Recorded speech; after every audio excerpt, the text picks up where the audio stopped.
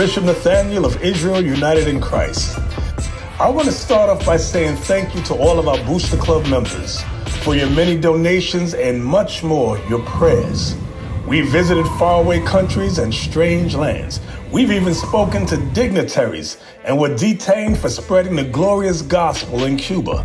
The truth is that the descendants of the 12 tribes of Israel were scattered throughout the world Help us on our journey as we continue to raise up the nation of Israel. 12 tribes worldwide. Join or donate today. Shalom.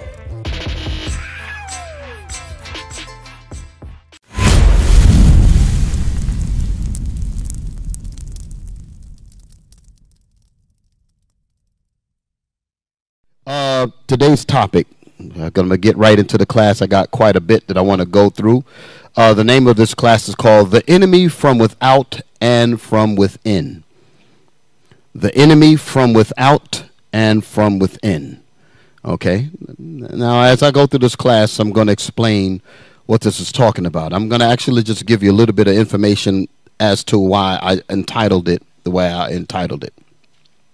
The enemy from without, meaning enemies that are on the outside of the nation of Israel that's also, that's looking to overthrow the plans of the Lord. And then you have enemies within the nation of Israel, the Israelites, who are who are bound for destruction. Their mission is to also do like the enemies on the outside and to bring Israel to naught. That's their objective. So the enemy from without are talking about our natural enemies, and then we have enemies from within which are enemies that are internal, undercover brothers, so you can understand, undercover sisters, as you can understand, so you can understand. Um, I want to start off with um, I'm gonna I'm gonna read the scripture because that's it's something that I just I marked it and I said I want to make a mention of it. And the reason why I want to make mention of it is because I want you to understand how special each and every one of us are, all of us, even for the brother that just walked in the door to the to the old heads of us. We all have that equal special uh, speciality with the Most High, and it's important for us to remember that. It's important for us to know that. It's important for us to understand that when we deal with each other. Okay, a lot of y'all know that I got a significant amount of years in this truth, and a brother that's just coming in the door yesterday is just as important to the Most High as I am. Okay, so that's something that we have to keep in mind because we don't know who the Lord is bringing in. And oftentimes we think that our tenure in this truth gives us a pass to mistreat the brothers that just came into the door or mistreat the sister that just came in the door and you don't know who these people are. So we have to. I'm, this is not. Thank God, this is not a pervasive spirit in IUIC. But I'm just saying that this is something. Sometimes people get to think this way. They get some position and they think they could just abuse the people, and you don't know who you're dealing with. Okay, I'm gonna show you that. Um, let's get it. Jeremiah, watch this now, because this is gonna be kind of deep. Just this little passage that I'm gonna get. And another day I'm gonna go a little deeper into it but I just want to just give you just a little nugget of a little bit of deepness. And then I'm going to get back to the basics. And the reason why the basics are important is because this this is what's going to get us the kingdom. The scriptures say that we have to uh, uh, by the milk that we have to desire the sincere milk of the word. Okay, that's how we're gonna that's how we're gonna get our foundation set. Oftentimes we look for the deep things and then our foundation is weak. And then you wonder why brothers and sisters are falling out of the truth because they never really got the, the deep basics down pat. So that's the reason why I'm electing to go over more basic things as opposed to the deep things. But every now and then I'm going to throw out a nugget of deepness. Y'all all right? I'm going to give you a little a little nugget now. Just a little nugget. Jeremiah chapter 17 and uh verse 1. Jeremiah Jer- 17 verse 1. Jeremiah chapter 17 and verse 1. The sin of Judah is written with a pen of iron. This is the prophet Jeremiah writing this down. The Most High told told Jeremiah to write this down. Give me chapter 1. Chapter 1. Follow me now.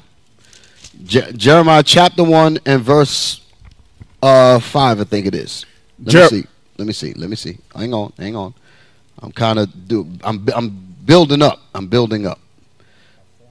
Yeah, I might want something before that. Let me just give me a second. Uh, read verse 4. Jeremiah chapter 1 and verse 4. Then the word of the Lord came unto me, saying, Before he said, uh, then the word of the Lord came before me. Me is Jeremiah, the prophet Jeremiah. Read. Before I formed thee Before I formed you, Jeremiah. in the womb, Before I formed you in the womb, Jeremiah, before I formed thee in the belly, I knew thee. I knew you, meaning that you existed before you was put inside your mother's womb. And before thou camest forth And before you came forth out of your mother's womb, out of the womb, I sanctified thee. I sanctified you. I ordained you. I sanctified you. I cleaned you up. I built you. I made, I purposed you. Go ahead. And I ordained thee a prophet unto the nations. I ordained thee a prophet unto the nations. You see that? So the Most High has the spirits. The Most High has all of the spirits on us. He knows about us from generation to generation. That's what I'm saying. That's the point that I'm making. I'm going to touch that subject on another time. But you've been here many times before. That's the point that I'm making. I'm making that re- I'm making that point to, to again press upon you that you could be Jeremiah. You could be Isaiah. You could be Daniel. So it'd be foolish for me to deal with you in a Negro way, not realizing that you could be who we reading about. So we have to take that serious. So whenever there's issues between us, I'm trying to make amends with my brothers right away.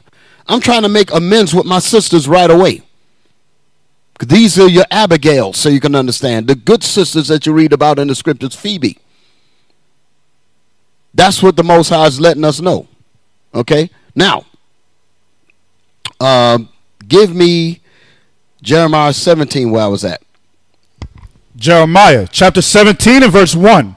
The sin of Judah is written with a pen of iron. I'm sorry. Uh, what did I say? 17 and 4. Yeah, yeah, yeah. You're right. You're right. Continue. I'm sorry. The sin of Judah is written with a pen of iron. So the Most High told Jeremiah to write this down about the Israelites. Go ahead. and with the point of a diamond. He said the sin of Judah is written with a pen of iron, right? That's what it said? Yes, sir. With a pen of iron. Go ahead. And, with the and with the point of a diamond. and with the point of a diamond, meaning that it was engraved. That's how evil we were to the Israelites. That I mean to the prophets. That's what they were trying to kill Jeremiah.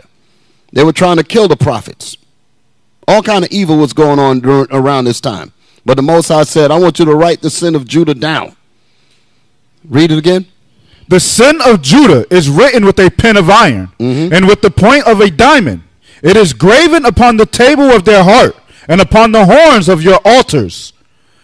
Whistled Wills. whilst their children remembered their altars and their groves, by the green trees upon the high hills. That was the evil sin that we were doing. We were worshiping other gods. Wanted to follow the other nations. And the Most High told Jeremiah to write that down. So Jeremiah was in the truth all the way up to the end. I'm going to show you something. Read. Verse three. 3 O my mountain in the field, I will give thy substance and all thy treasures to the spoil, and thy high places for sin, throughout all thy borders. I want y'all to really look at verse 3. Read it again. O my mountain in the field, I will give thy substance and all thy treasures to the spoil, and thy high places for sin throughout all thy borders. So the Most High was letting Jeremiah know that he was getting ready to tear Israel up. He getting ready to have Israel to lose everything. Now listen to what he's going to say in this fourth verse. Verse 4 And thou, even thyself, shall discontinue from thy heritage. Did that happen to Jeremiah? Literally. Did that happen to literal Jeremiah? So what is the Most High saying? He's saying that you, he said in this lifetime you're not going to lose it, but you're going to come back, and when you come back, you're going to be a Negro, so you can understand.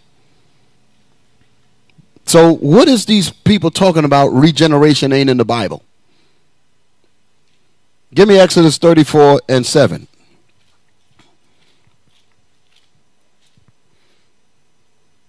Exodus chapter 34 and verse 7. Keeping mercy for thy thousands, forgiving iniquity and transgression and sin, and that will be And that will by no means by no means clear the guilty, visiting the iniquity of the fathers upon the children, and upon the children's children, unto the third and to the fourth generation. It's the third and the fourth generation. It's talking about us coming back in regeneration. The reason why I said the third and the fourth generation because we come back every third and fourth generation. Okay, that's how you pay for the sins of your fathers.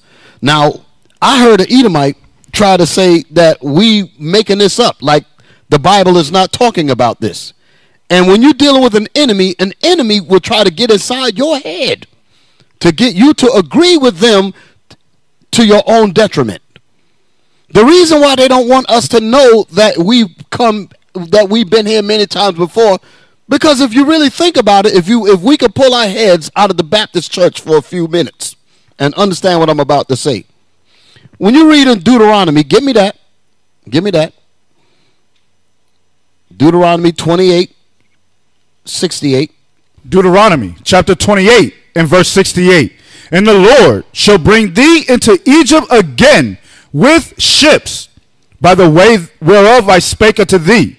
Thou shalt see it no more again. Our enemies want us to totally misunderstand that verse completely to the point where they have written what they, what they call New International Version Bibles, and they have totally bastardized that scripture on purpose. They have taken that scripture where it says that the Lord shall bring thee into bondage again. That's what the that's what the uh, Egypt is bondage. That was recorded in the fifth book of the Bible, which is Deuteronomy. The book of Exodus was when we came out of Egypt. So the reason why I use the term again, read it again. And the Lord shall bring thee into Egypt again. Shall bring the Israelites into Egypt again, meaning back into bondage again, because we just came out of the house of bondage. That's what he's, that's what Exodus twentieth chapter verse two tells you. I am the Lord thy God, which have brought thee out of the land of Egypt, out of the house of bondage. That was recorded in the second book of the Bible. Here we in the fifth book, and Moses is telling us that if we didn't keep the commandments of the Lord, the Most High will bring us back into bondage, but this time you're going to get there on ships. That verse is identifying who the Israelites are. They don't want the world to know that they have been mistreating the children of Israel, especially the blacks in this country. They are going to seriously pay for, the, for them dealing how they dealt with us. And they are trying to get out of that. And they want us to side with them. You're going to set up your so called apologetics, your Christian programs, and try to recruit black folk. I can't even think of I can't even think of something more disrespectful than to go to the people that my forefathers have murdered your forefathers. And then I'm going to come to you and get you to side with me against the people that are actually trying to help and liberate you from the destruction that I caused. You have to have a you have to have a certain kind of disdain, a certain type of disrespect, a certain type of, of absolute hatred to, to be bold enough to come before the children of slaves and tell them, side with me, side with the slave master, and all of the riches that I've gotten is because my forefathers raped and murdered your forefathers. But I expect you to be dumb enough to follow what I say against your own people that's trying to show you facts. That is what you call the utmost disrespect. Read that again. Deuteronomy chapter 28 and verse 68. And the Lord shall bring thee into Egypt again. And the Lord shall bring the Israelites into Egypt again. The, the reason why I wanted to go to this verse and chapter is because of the word thee. Read it again. And the Lord. Keep in context with what I said about Jeremiah. The And- Bible said in, in, in Jeremiah 17, it said, And thou, even thyself, meaning you, Jeremiah, you shall discontinue from your heritage. That did not happen to prophet Jeremiah. So when he said thou, meaning you, meaning that in generations to come, you're going to be dumber than an ox and an ass. And you're going to have to come through these doors and get the knowledge like the book of malachi talked about and he will bring he, and he will bring the the fathers to their to, he will bring the the fathers to the children and the children to the fathers meaning the bible he's going to return our bible back to us that's what he's saying to jeremiah here so just like it's saying here and thou even thyself shall discontinue that didn't happen to jeremiah in that generation there just like when we read in Exodus 34, it says, did you finish reading that in Exodus 34? Yeah, visiting the iniquities. Yes, sir. Read it again. Exodus chapter 34 and verse 7. Keeping mercy for thousands, forgiving iniquity and transgressions and sin, and that will by no means clear the guilty, visiting the iniquity of the fathers we upon are- the children. If we are guilty of breaking God's laws, he will visit the punishment. That's what it means when visiting the iniquity. Go ahead. visiting the iniquity of the fathers upon the children. Why I said the fathers? Because that's how you got here, through your father's seed.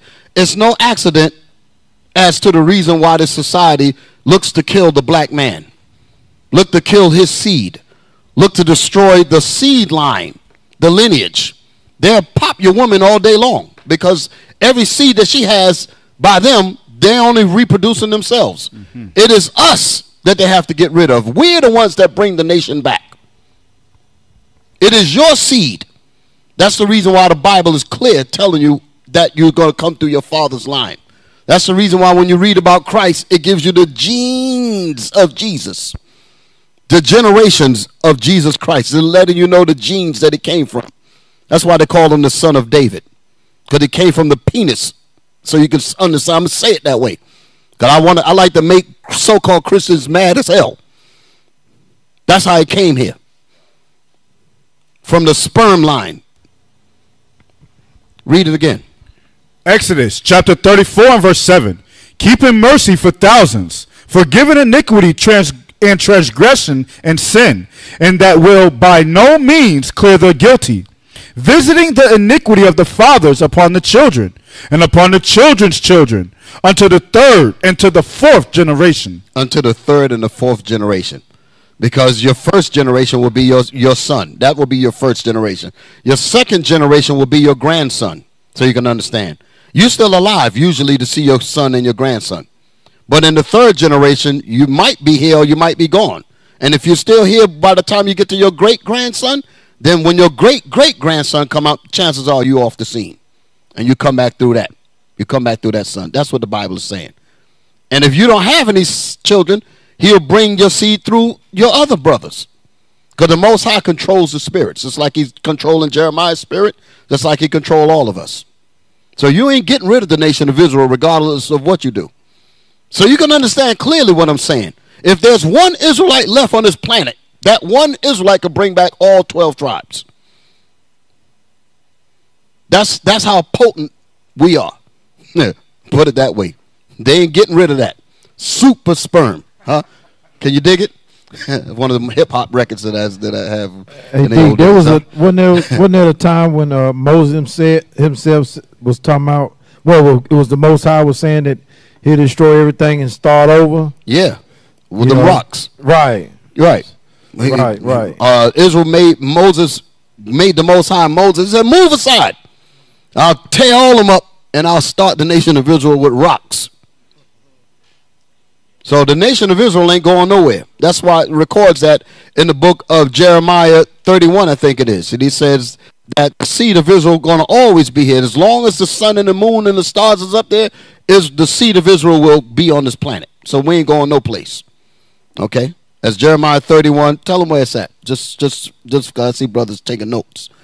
Jeremiah 31, so you know the nation of Israel ain't going nowhere. So no matter how many uh, sterilization tactics they try on us, no matter how much they try to inject us with different poisons and all that to kill our seed, you're not stopping the nation of Israel at all. Okay? You found it? Jeremiah 31, and I think it's 31. Jeremiah chapter 31 and verse 35. Thus saith the Lord, which giveth the sun for a light by day. The Lord is the one that put the sun up there and put the moon up there. That's the Almighty. That's the Most High. Go ahead. Well, let's see. Let's see what He said. In the ordinances of the moon and of the stars for a light by night, which divideth the sea with the waves thereof. The What? Lord of hosts is His name. Verse 36. Mm-hmm. If those ordinances depart from before me, If those ordinances depart from before me, the ordinances mean the moon, the stars, the sun. If those if those ordinances leave, saith the Lord, then the seed of Israel, then the what? the seed of Israel, Then the what? The seed of Israel The sperm of Israel. That's what it's talking about, straight up. Then the sperm of Israel, the sperm of Jacob. Go ahead. also shall cease from being a nation before me forever. So you hear that? So when you go outside, all you got to do is look up, and you know the super sperm in Israel is still here. Y'all all right? Can y'all dig it? okay, so they're not stopping nothing. They ain't stopping a damn thing. Only thing that's going to stop is their heart. That's what's going to stop. Now, let's go back to where I was at. All praise to the Most High. Deuteronomy chapter 28 and verse 68. And the Lord shall bring thee into Egypt again. So who is the thee that the most that the Most High was speaking through Moses? He was talking to the Israelites. Listen to what Moses said to Israel. Read it again. and the Lord shall bring thee And the Lord shall bring you Israelites. into Egypt again with ships. Did the Israelites that Moses spoke to, did they go on slave ships? No. That prophecy did not come to pass till all the way up to the 14, 15, and 1600s. AD, after Christ. This was spoken thousands of years before Christ even came on the scene in the physical body, so you can understand. And the Most High said, What? Read it again. And the Lord shall bring thee into Egypt again with ships. And the Lord shall bring the Israelites into bondage a second time, but this time you're going to get to this bondage on ships. Go ahead. by the way whereof I spake unto thee. And how's and how is it that and how is this going to be done? By the way whereof I spake unto thee, meaning the, exactly the way it's recorded in Deuteronomy the 28th chapter is the way it's going to happen. The yokes of iron, so you can understand, is is the way I spake unto thee. The our children being sold and taken from us is by the way I spake unto thee. That's what that's talking about. All of the different things that you read about in Deuteronomy the 28th chapter happened exactly the way Moses said. Read that statement again. By the way, by the way whereof I spake unto thee. th- th- you were gonna you're gonna go on slave ships the, the exact way that I'm reading it to you. By the way I'm bringing it out to you. That's how the slave trade is going to be. The our women being raped, our sons and daughters being raped, our children being shackled up and put with yokes of iron on their necks. That's in here. The way Moses recorded it. That did not happen to the Israelites that was in the wilderness with Moses at all. So what is the Bible telling you? That you're going to come through many generations and this is going to happen. That's what uh, Luke was talking about. Give me that, Luke. I'm just giving y'all some basics. Kind of deep, but giving y'all some basics. And I'm going to get on with the lesson. Luke 21, verse 24. No, 22. Who's new in here? Anybody's new? Okay, one brother. Anybody else? Okay, all praises to the Most High. Well, we're gonna deal with you. You, you, welcome home. I tell you that much. Welcome home. Okay, you made it, and that's how that lets you know how special you are. You've made it. There's so many traps for a new brother to get caught up in, and the Lord has selected you and pulled you through all that filth to get you right where you are, to give you not what I have to say, give you the Bible, which is your book. Okay? Read. 24 D. Uh, 20, start with the 22nd verse. Yes, sir. Luke chapter 21 and verse 22. For these be the days of vengeance. Start with 20, start with, uh, what, what chapter you in? You're Uh, in, Luke 21? yeah, start with when you shall see Jerusalem, Yes, sir, 20. verse 20. Verse 20. And when ye shall see Jerusalem compassed with armies. This is Christ coming on the scene telling the Israelites that the time for the judgments that Moses wrote down was about to come down on us. This is Christ getting ready to back up what we just read. Christ now. You're talking about in the Roman Empire. This that we was reading here was right after Egypt. Look at all those thousands of years between them before this prophecy was going to actually take place. Read. Luke chapter 21 and verse 20. And when ye shall see Jerusalem compassed with armies, And when you shall see Jerusalem surrounded by the Roman armies, then know that the desolation thereof is nigh. then know that the desolation is near. Why is he saying the desolation? Because it's a desolation that we knew about.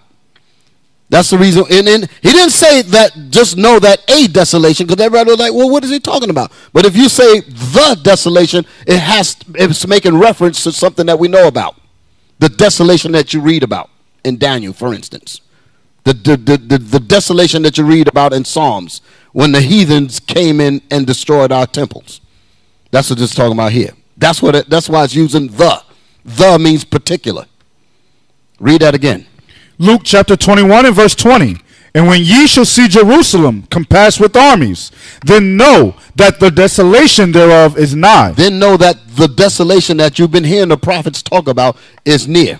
Go ahead. Verse 21. Then let them which are in Judea flee to the mountains, and let them which are in the midst of it depart out. It said, and they which be what? Read that statement again. Then let them which are in Judea Then let the Israelites that are in Judea, this is talking about the southern kingdom, because at this time the nation of Israel was split in two parts. You had the northern kingdom, which was which was the northern tribes, which was Simeon, Levi, uh, Ephraim. uh, Ephraim, Manasseh, Manasseh, Gad, Reuben, the ones that you call the Hispanics. Those are the ones, but they weren't called. They were the northern kingdom. Then ain't no such thing as Hispanic. These were the Israelites that was that was that was called the northern kingdom. Puerto Ricans and all of that. Read that statement again. then let them which are in Judea Then let them which are in Judea, that's that's Judah, Benjamin, and Levi, so you can understand. That's the, the three tribes primarily that was still in Jerusalem at this time. The reason why it's making a point about the other tribes being scattered abroad was because after we were after um what was it Babylon? I'm, I was, the when we were given uh, after Babylon, Persia came in and gave liberty to gave liberty to the Israelites, and Northern Kingdom primarily said we're going to go into a further country where never mankind dwelt, and they entered into the Euphrates and ended up over to the Americas and Puerto Rico and all of that. That's in the that's in the book of Ezra, Second Ezra. Okay, and it gives the geographic route in the Bible, and the history books confirm that. Okay, so so the the northern tribes was already scattered abroad. The only tribes that was primarily in, Ju- in Jerusalem at this time was Judah, Benjamin, and Levi, which is known as the southern kingdom. Everybody's with me? Read that again. Luke chapter 21 and verse 21. Then let them which are in Judea Then let the Jews, meaning the, the, the tribe of Judah, Benjamin, and Levi primarily, let them flee to the mountains. flee deeper into Africa. Because Jerusalem is in Africa, so you can understand. All of that was part of when you say the land of Canaan, Canaan is talking about Africa. So there's um, the the point that I'm really making that there is no such thing as the Middle East. That's a term that they use to separate the land and say, no, those are not the black people. We're going to make up a group of people called Jews and going to say, these are Middle Eastern. Ain't no such thing as that. The Arabs and all of the people in that area was just as black as you and me. So they lied again. Okay, ain't no such thing as, as, as the Middle East. Deke, by saying the Middle East, you are now farther fallen, uh, farther discontinuing from your heritage. Exactly. By what you said in Exactly. Jeremiah. Exactly. Exactly. And they, and they and they gave us that lie, and we've ingested it, talking about something. He's Middle Eastern. No such thing as that. All of that is the land of Canaan. All that is Africa. They just cut it up with that. What was that? That Gulf of Suez. They cut it up. The Suez Canal. That was a plot. Read it again. Luke chapter 21 and verse 21. Then let them which are in Judea flee to the mountains, and let them which are in the midst of it depart out. Let the Israelites that's in that's in Jerusalem leave. Go ahead. And let not them that are in the countries That's the northern kingdom tribes there. And let them that are scattered abroad, like James 1 and 1 talks about. Let them that are scattered abroad, let them not come into Jerusalem to keep any feast, because now Jerusalem is about to be overthrown. Because that was a prophecy, because of the desolation. Y'all all right? Y'all get me? Y'all with me? Read. and let not them that are in the countries enter therein too. Verse 22. Mm-hmm. For these be the days of vengeance. Why did Christ say this? Because these be the days of vengeance. I'm taking you back to my original point about this truth about what happened in Deuteronomy, the 20th chapter. It's about to roll out now. That's the point. Read that again. For these be the days of vengeance. Christ is telling us these are the days of payback. These are the days of the consequences that Moses told you about. Thousands of years. Read. For these be the days of vengeance, that all things which are written may be that fulfilled. all things which are written in the law of Moses might be fulfilled, meaning the curses. That's what it's talking about. The curse is about to be filled. When you go back to Deuteronomy, you read about the siege in the 56th verse and all that, where we was- got so bad we started eating our children and all of that. Because they cut us, they cut off our food supply, cut off our water, cut off everything. The siege is recorded in Deuteronomy, the 28th chapter. This, everything is recorded there. This is what Christ is talking about. Read. No. Yeah, yeah. Since I don't want to deviate because I got a lot to cover, but I- I- but go ahead, bring it out since you're there. Deuteronomy chapter 28 and verse 52. And he shall besiege thee in all thy gates. And your enemies shall besiege thee in all of thy gates, your leadership, and all of your opening ports where you would get food and water. He shall besiege you in that. Go ahead. unto thy high and fenced walls come down, Because Jerusalem was surrounded by a high wall, and we trusted in those walls.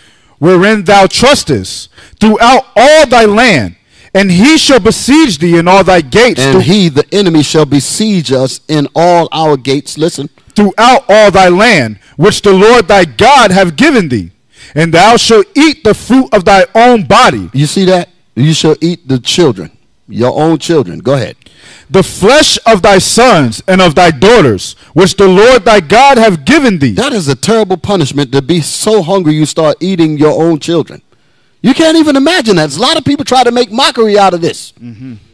They try to make mockery out of this. But who would believe that we, with our sick selves, will abort our own children for basically nothing? So we busy having so much doubt about this here. Somebody will look at us today and say, "Well, how could you do the things that you do?" Hmm. Go ahead. In the siege and in the straightness wherewith thy enemies shall distress thee. wherewith thy enemies shall distress thee. These are not the enemies that the Lord told us to love. Like when we read in the New Testament when it's when Christ said, Love thy enemies, it ain't talking about loving your natural enemies, it's talking about the enemies among your own people. That's what it's talking about. And when it says the enemies among your own people, the reason why you would turn the other cheek on your own brother is because your brother has a conscience. If you strike me on the left cheek and then I give you my right cheek for you to strike, I'm thinking that by, by you striking me, I'm going to turn and let you hit me on the other side. This is just figuratively because I don't believe in letting nobody hit me nowhere. I'm just just being straight, but I'm just figuratively speaking. You understand what I'm saying? When we deal with when we deal with each other, and we do something wrong to each other, and then I don't, and then you look to to retaliate, and then you don't retaliate.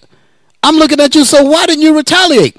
And then your response to me is because you're my brother, and that's going to work on me because I have a conscience. Hey, this man didn't even attack me.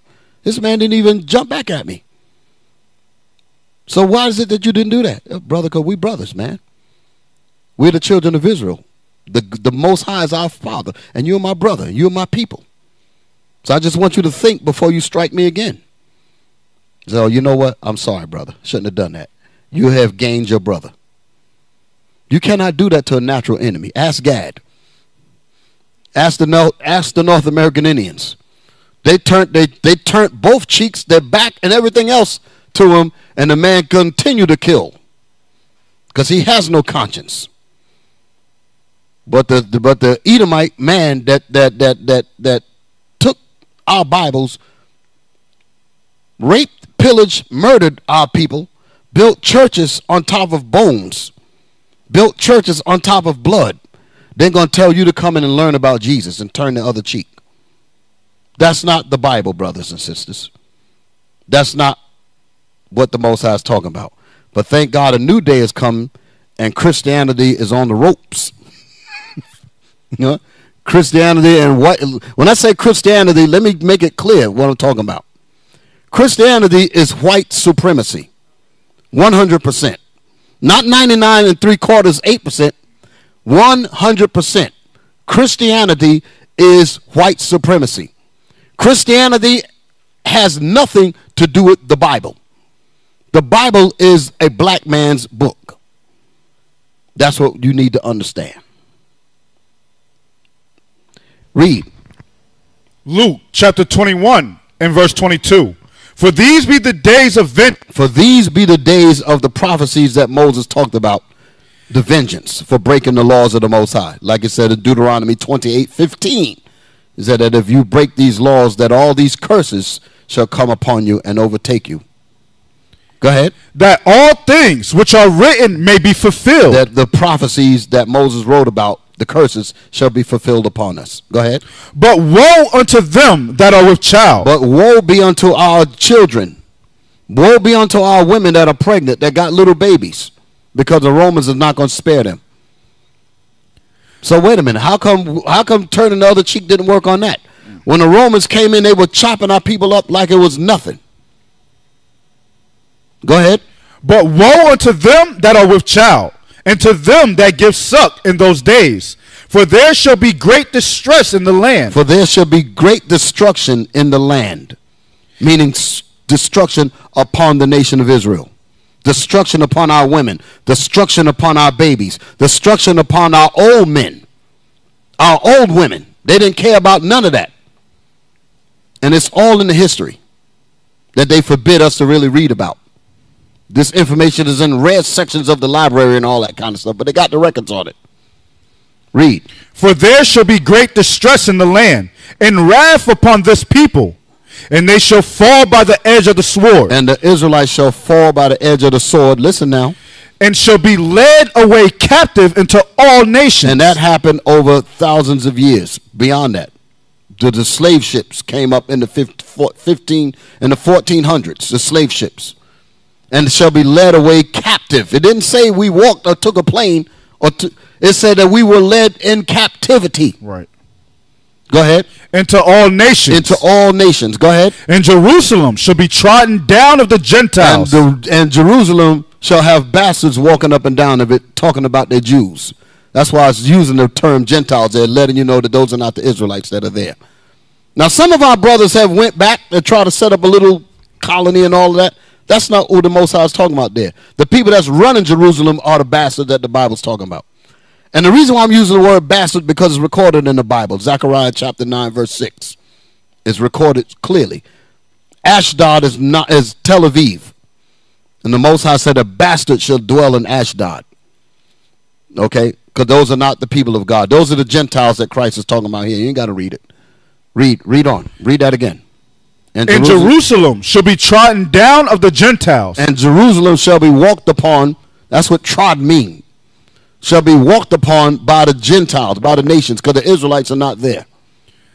Go ahead. until the times of the Gentiles be fulfilled. How long they gonna be there? until the times of the Gentiles be fulfilled. Until their time is up. So the the, the hourglass, the time is running out. Mm-hmm. Their time is running out. Revelation 12 and 12. Revelation 12 and 12. This is the reason why he's acting up with us now, trying to find Negroes to side with him. So called Negroes. They're the Israelites that have been brainwashed, trying to stop the prophecies of God. This, this, this demon called Vocab Malone. He's another one that's trying to stop the prophecies. And this Christian apologetic garbage. They're trying to stop the prophecies. Ain't nothing going to stop but their heart. That's right.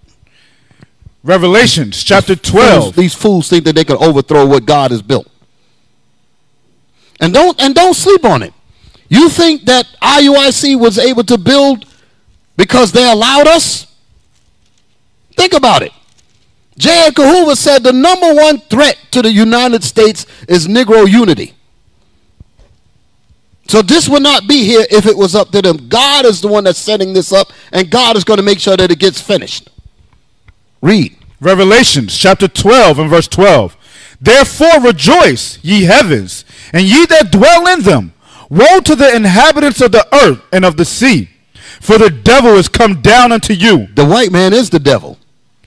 having great wrath, because he knoweth that he have but a short time. When I said a white man, that's another level of deception that he is giving us because he's not white. Just like you're not black. You can look at your own skin and look at that in contrast to your hair and see that you're not the your color. Even the darkest African is not black. They call it blue black. Blue is not black. blue black. This is very dark brown. Very dark. Like a dark chocolate. Okay? And ain't no such thing as white people either. They're not pure. They're the pure devils, but they're not pure in terms of being pure as a driven snow. No. They're red, just like the Bible says. They're the Edomites that the Bible speaks of. That's what the Most High is telling you in the Bible that they're the devils. That's the reason why the scriptures say that the devil is red. How in the world could a white man write a Bible that says that? White people lie. The minute they wake up, they lying. You think that they would actually put that Christ is a black man in the greatest book on the planet and say that we, as the white folks, we're the devils? No way. And he couldn't even stop that. He got them trapped up thinking that they're talking about. He got the he got the so-called white people in the churches talking about some. Yes, Jesus loves me, for the Bible tells me so and got all these Bibles available. And the Bible, they got nothing to do with none of them at all. The Bible is meant to get to you. So they all been hoodwinked. And they think they're going to stop this. And Vocab sees that. He's scared to death. This is what's wrong with him. Read. Read on. Revelations chapter 12 and verse 12. Therefore rejoice, ye heavens, and ye that dwell in them. Woe to the inhabitants of the earth and of the sea, for the devil is come down unto you, For the devil has come down upon the 12 tribes of Israel. Why? having great wrath, Having great wrath. It's going to tell you why. because he knoweth that he have but a short time. How does he know? Because he's looking at you waking up. He's looking at us coming to find out that Christ is black, that we're the Israelites, and Christ is coming back to kill our enemies and give us the kingdom and put everybody in slavery. He knows that. And that's terrifying to him. That's terrifying to vocab. They're trying to figure out how to stop it. Vocab is trying to, I'm calling him out, Mark Reiser. He's trying to sound the alarm for white supremacy Christians to stop the Israelites, and it ain't stopping that. That's what's wrong with him.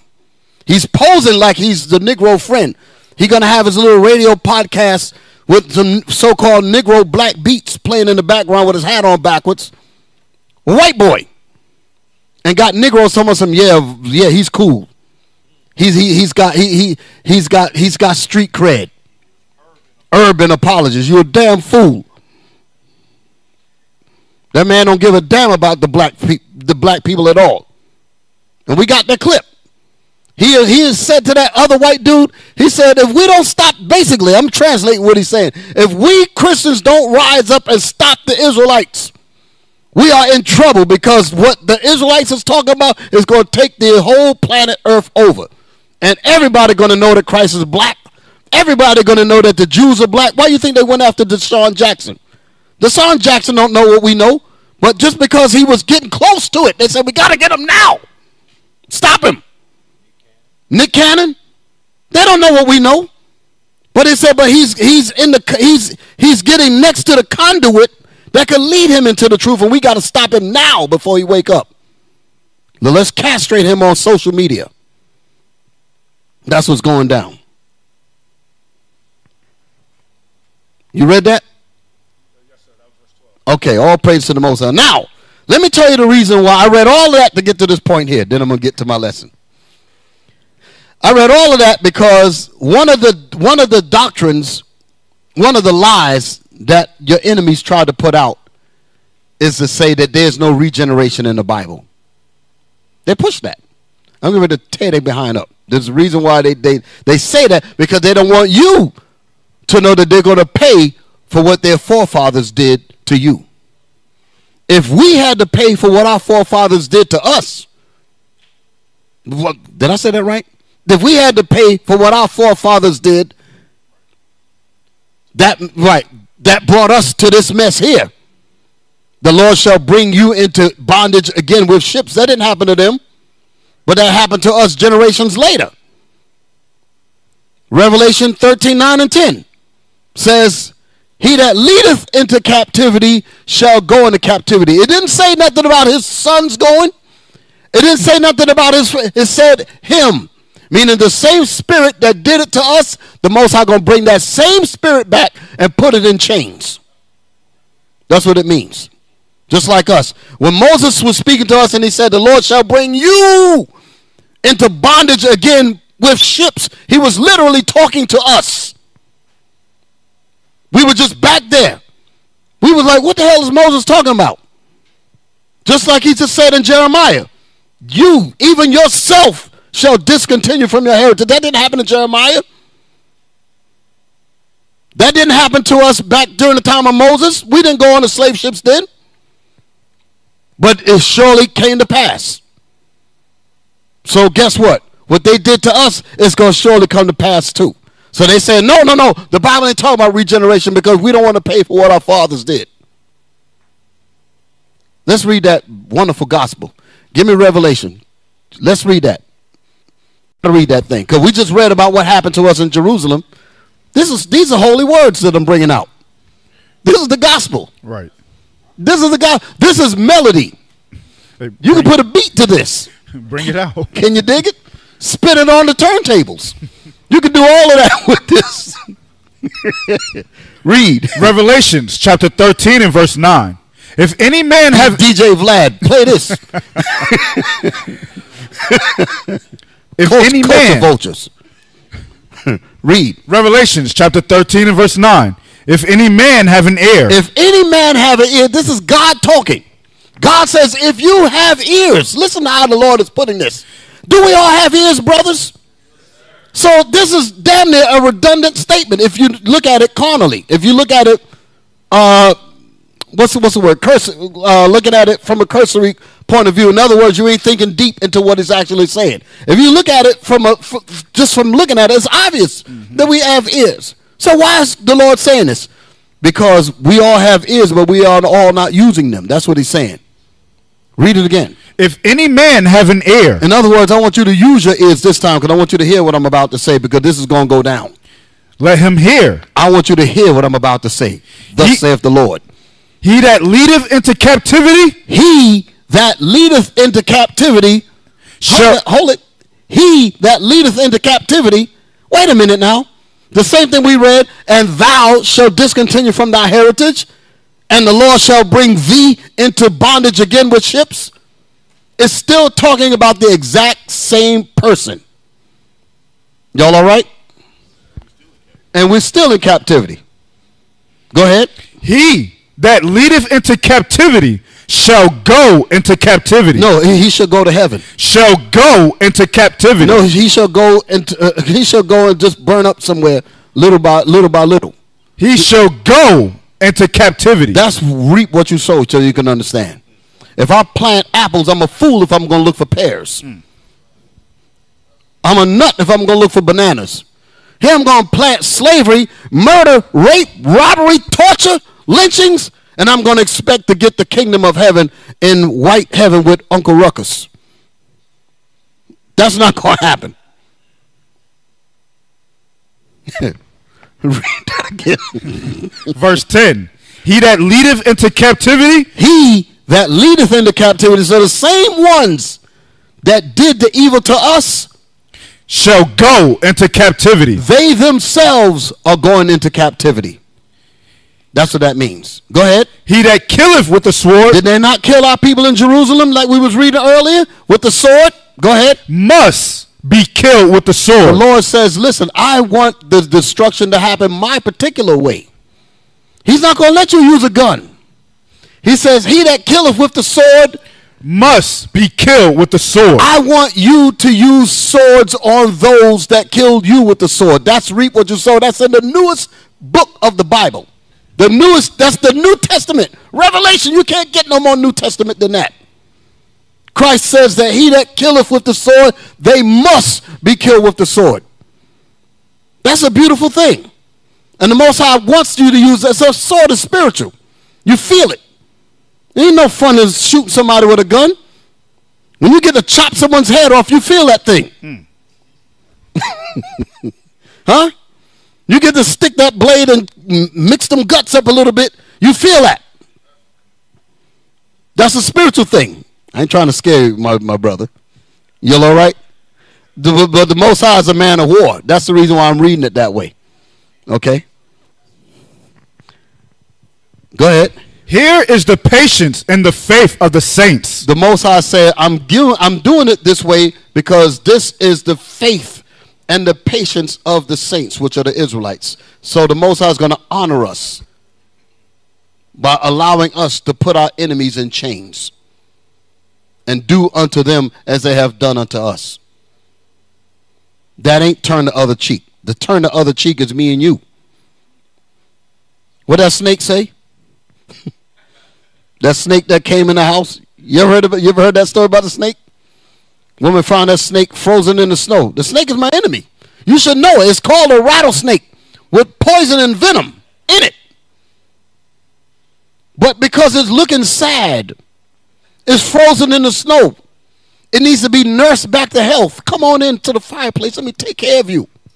That's what God did to the white man when he came over here on the shores. Took care of the snake nursed the snake back to health. Many of them were dying from diseases and uh, because they were full of diseases when they came here. God didn't even know what a common cold was. They came over here and bought syphilis, gonorrhea, you name it, they brought it. And God still helped them. Nice snake. Pet brought the snake into the house. The woman did, as the story goes.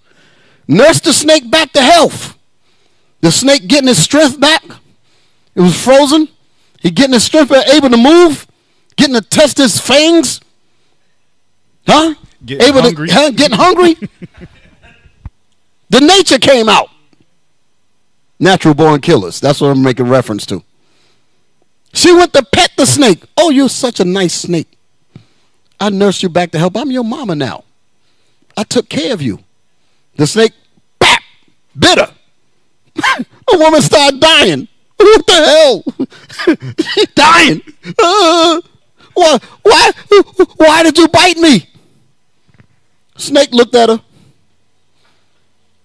Bitch. You know I was a snake. That's what the snake said. Y'all all right? okay. That's what we need to understand. When the vocab turn around and bite us, we up there upset. When Vlad turn around and bite us, we upset. When Max Kellerman, how many y'all heard of him? Put that video up there. Let me show you. Give me that video. I, look on our channel from last night because I put it up there. I want y'all to see this here. How many y'all know of Max Kellerman before I show the clip? Okay. Somebody tell me about Max Kellerman. He's a he's what they call a news uh sports such as a white boy, right? Huh? So-called Jew, huh? Hosting it. Analyst, right. That's his weird, whatever, right. So he's on the program and he said that he was offended because DeSean Jackson basically reposted something that said that the black people are the Jews and America going to pay for what they did to the Jews. So he said, I take offense with that because I'm Jewish. So he took offense against black people and fried, wanted to fry DeSean Jackson. So he's letting you know straight up that he hates black people. Correct? Everybody's with me, right? Let me show you who Max Kellerman, let me show you how Max Kellerman pimped black people in 1994. You got it?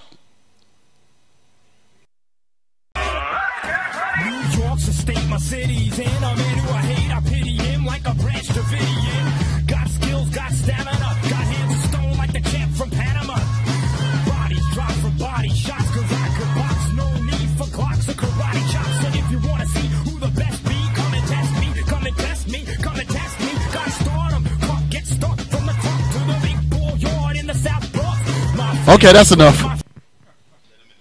Huh? Got the black people in the background. Couldn't even vibe on that mess. But when it was time for the snake to bite us, he bit us. That's the point. Never trust your enemy. That ain't when Christ said love your enemies, it's two sets of enemies, brothers and sisters. Never trust your enemies, the scriptures say. The same way that iron will rust, so will his wickedness. so will his wickedness. That's God talking. Now, why is it that vocab is against the Bible? Give me Isaiah 14 21. This is the reason why he don't like, and all of them want to get rid of this. They want to get rid of the Bible, period. They love the Bible as long as they can fool our people. But as long as the proper teachers who no longer are hidden, like the scriptures say, thine eyes shall see thy teachers. Now the teachers are out here bringing that word hard. And now new eyes are being brought to the Bible. People are starting to see the Bible for what it really is. They've taken off the rose colored glasses. Now they put on the corrective lenses and they can see what the Bible is really saying. Now they say, oh, we got to get rid of it now. Here come SPLC. Oh, you're a hate group. A hate group? Because we are trying to warn our people to stay away from the people that hate us? You call us a hate group? And we ain't necessarily trying to tell them to not cohabit with, deal with you on the jobs and all of that. But we try, but we have to teach our people to be careful of the traps that the enemy is setting for them. So here you got the wolf telling the sheep, you're a hate group because you won't allow me to eat you. That's the that, that's how I look at it. I I don't know if other people think the way I think, but that's how I look at them. I'm looking at a snake trying to tell me, it says, trying to tell my brothers trying to tell me don't go in the snake pit. And then they said the man that's telling you not to come into the snake stick pit is a hate group. that's wild, ain't it? That's crazy. But our people have done such things. Isaiah 14, 21. This is the problem. This is this is this is what vocab's problem is. And yes, and we don't bring this scripture out enough, but long as there's breath in my body, I'm gonna start bringing this dog on fire. I'm gonna start going through this chapter. I've been waiting a long time to go through Isaiah 13 and 14. I'm gonna go through those chapters. Huh? Huh? Yeah. Wonderful thing. Read. This is what he's afraid of. Watch this. Isaiah chapter 14 and verse 21. Watch. Prepare slaughter for his children. This is what Revelation just told us. Revelation say, "He that killeth with the sword must be killed with the sword." Isaiah is telling you that that's slaughter. The Most High told the prophets to prepare slaughter for what? for his children. For his children, for the white man's children. That's what it's talking about. The Most High going to give us the power to execute this, just like we said in the New Testament in Revelation. The same thing. It's talking about the same thing. Read. Prepare slaughter for his children, for the iniquity of their fathers. For the crimes that their fathers have done against our fathers, the Most High said that we are to prepare slaughter for what they did to us in the past. That's payback. That's what you that's what you call reap what you sow. The reason why it's using the words for the crimes of their fathers because they are their fathers, just like we are our fathers. It's hip talk. It ain't literally talking about prepare slaughter for the children that hasn't done anything. No, the Lord is telling you that the children are the ones that did it. That's what that's talking about. Y'all all right?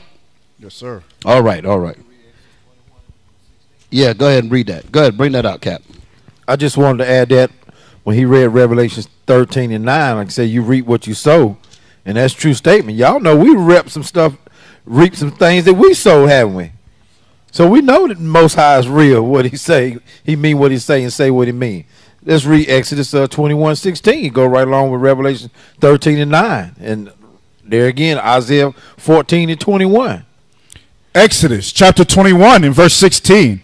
And he that stealeth a man and selleth him, or if he be found in his hand, he shall surely be put to death. Are we still not in the hands of our enemy? The Bible says, God says, He shall surely be put to death. That's all I wanted to bring out there. That's a beautiful. That's holy words there. I know in church you you learn to. We we are taught to be squeamish over revenge. We're taught to be squeamish of being saved. The Negro, think about him. We will. Our people will hear the gospel, and will hear that Christ is coming back for you to save you from your enemies. Guess where the Negro's default mechanism in his mind go? Or what about the white man? What about him? Stockholm syndrome is at a level that's that you can't even measure.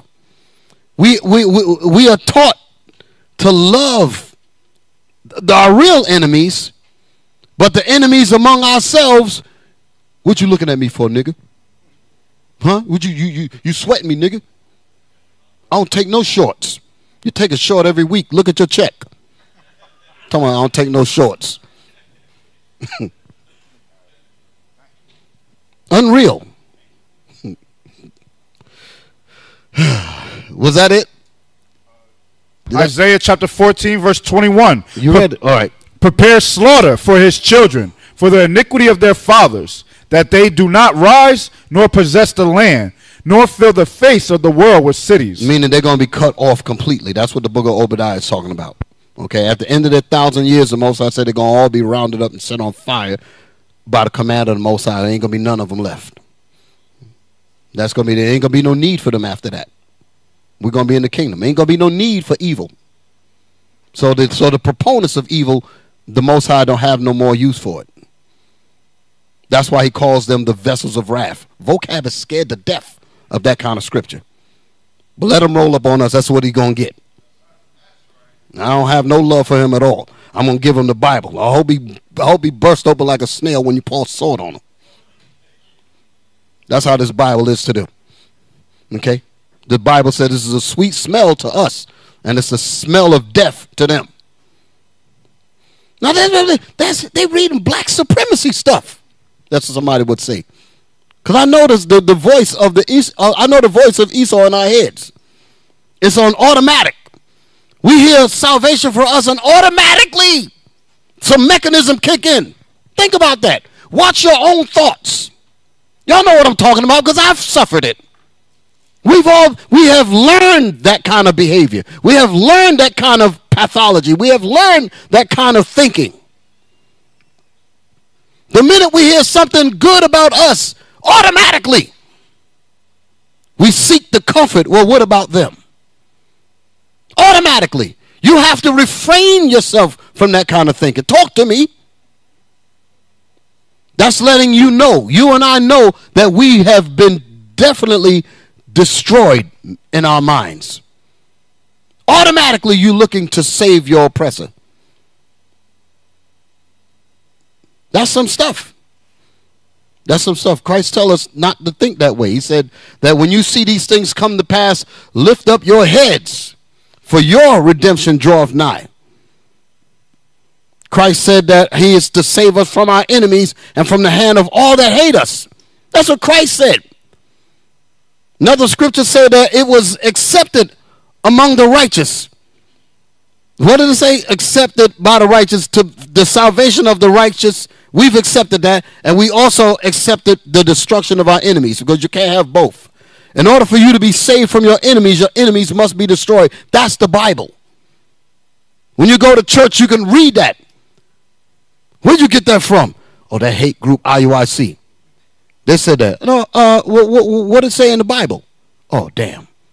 It's in there too. Read it. Wisdom of Solomon, chapter 18 and verse 7. so of thy people was accepted both the salvation of the righteous The salvation of the righteous is the Israelites. Go ahead. and destruction of the enemies. And it was also that we accepted the destruction of our enemies, of our enemies. Do you have what is known as an apocrypha, my brother? I was looking for my book. I got a book that talks about the, this tyrant that tried to hide the truth as he was raping and robbing and pillaging the island of Puerto Rico. We'll bring that in next week. I got to read that thing too. I was trying to see if I had a picture of it, but I don't. I don't have it with me. But I'm going to bring that information in because that the vocab's fear and the fear of these apologetics and these Christians, TD Jakes, all of them, they are afraid. When I say TD Jakes, because he can repent. The problem is, is that he loves his master so much that he's willing to die with his master. That's what's happening, and he got to make that decision. That's up on him. I, I I hate to use that kind of talk when it comes to my people, but I have to speak it the way it is. If you hold on to the scriptures, tell you about that thing. Okay? No man can serve two masters, so you're going to understand. You're either going to serve me or you're going to serve the devil. You're going to get your reward either way you go. So, where were we at? Yeah, so that was it on that, right? I don't need no more of that. Now, let me show you one more thing, and I'm gonna hit. I'm gonna do two parts of this here. Obviously, I know I ain't gonna get it all out, but I, I think it was important for me to go over what I'm going over. Y'all all right? Can y'all dig it? Um, Matthew five forty three. Matthew five forty three. Watch this. Still, again, like I said, it's kind of deep, but then it ain't that deep. But watch what I'm going to read about this here. I want y'all to pay attention. Look at the words. Matthew chapter 5 and verse 43. Ye have heard that it hath been said, Thou shalt love thy neighbor and hate thy enemy. But I say unto you, love your enemies, bless them that curse you. Now, the, the, the white supremacy that is disguised as Christianity, because it's all the same thing. Christianity is not biblical. The word Christian is in the Bible, but Christianity is not. Two different words. The disciples, the apostles, was called Christian because they followed Christ, meaning the anointed ones. The anointed people of God are the Israelites. That's got nothing to do with a religion. Total madness. Okay? So read that again. Verse 44. But I say Read unto 43 again. verse 43 ye have heard that it hath been said thou shalt love thy neighbor and hate thy enemy Go but, ahead. but i say unto you love your enemies bless them that curse you do good to them that hate you When you went now, many of us are sitting here, and I like to deal with the psychology that comes out when these words are being read. Be truthful with me. When y'all heard this verse, immediately your mind, on default, went back to them old Christian doctrines. Talk to me. Y'all know it did. You had to catch yourself. You said, wait a minute. We're going to finally get the proper understanding of this verse. But when it first came out, your mind went right back to Reverend Shamchok. Reverend, what? Reverend Hoodwink. huh? Your mind went there. Because every time, well, let me tell you something. When I was coming up, I used to hear this. My mother would go to this uh, preacher that was in New York, Reverend Schambach, black man, I believe. Was he black? Might have been the devil. I don't know. anytime I got dragged to church, I never looked at the preacher. I was always there just watch the people cut up, dre- dress flying all over their head, all that cut up, spin around, look crazy, and laugh at people. That's what I used to do. That's what I used to do. Huh? Me and my sister, we just be laughing at the, at, at the people. Just, what the hell's wrong with them? Run all over the church. And he had a tent on 145th Street, cutting up. Oh man, that man could preach. Oh, all that madness. Ain't learned nothing. Read that thing again. But when you would hear this, you know it would. When here's the psych, here's the, the the mind thing that I'm talking about. When you hear this, as he read it, you remember exactly where you was when you heard that wrong teaching of that scripture. Talk to me.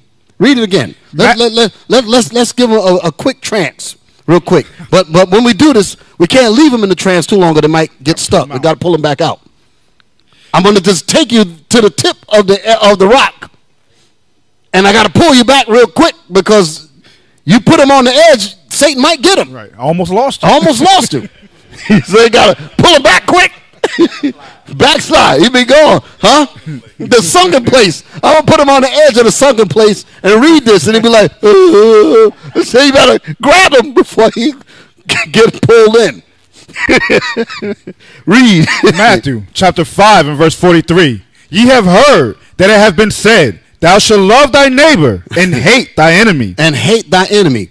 I remember when I was, I'm gonna tell you where I first learned this at. I learned I was in One West, and I remember the the brother. His name was Kakum. He might he might someday hear this. He'll well he he, he knows me. He went over this, and I remember the statement that he said. He said these verses here has made our people super stupid, meaning the misunderstanding of it. Those are the words that he used. Read it again. Ye have heard that it hath been said, Thou shalt love thy neighbor and hate thy enemy. Go ahead. But I say unto you, But I say unto you, love your enemies, Love your enemies. Oh Lord, let you take that nightstick and just beat the hell out of me. Go ahead. bless them that curse you. Bless. Listen to this stuff. Bless them that curse you. The white man biting you.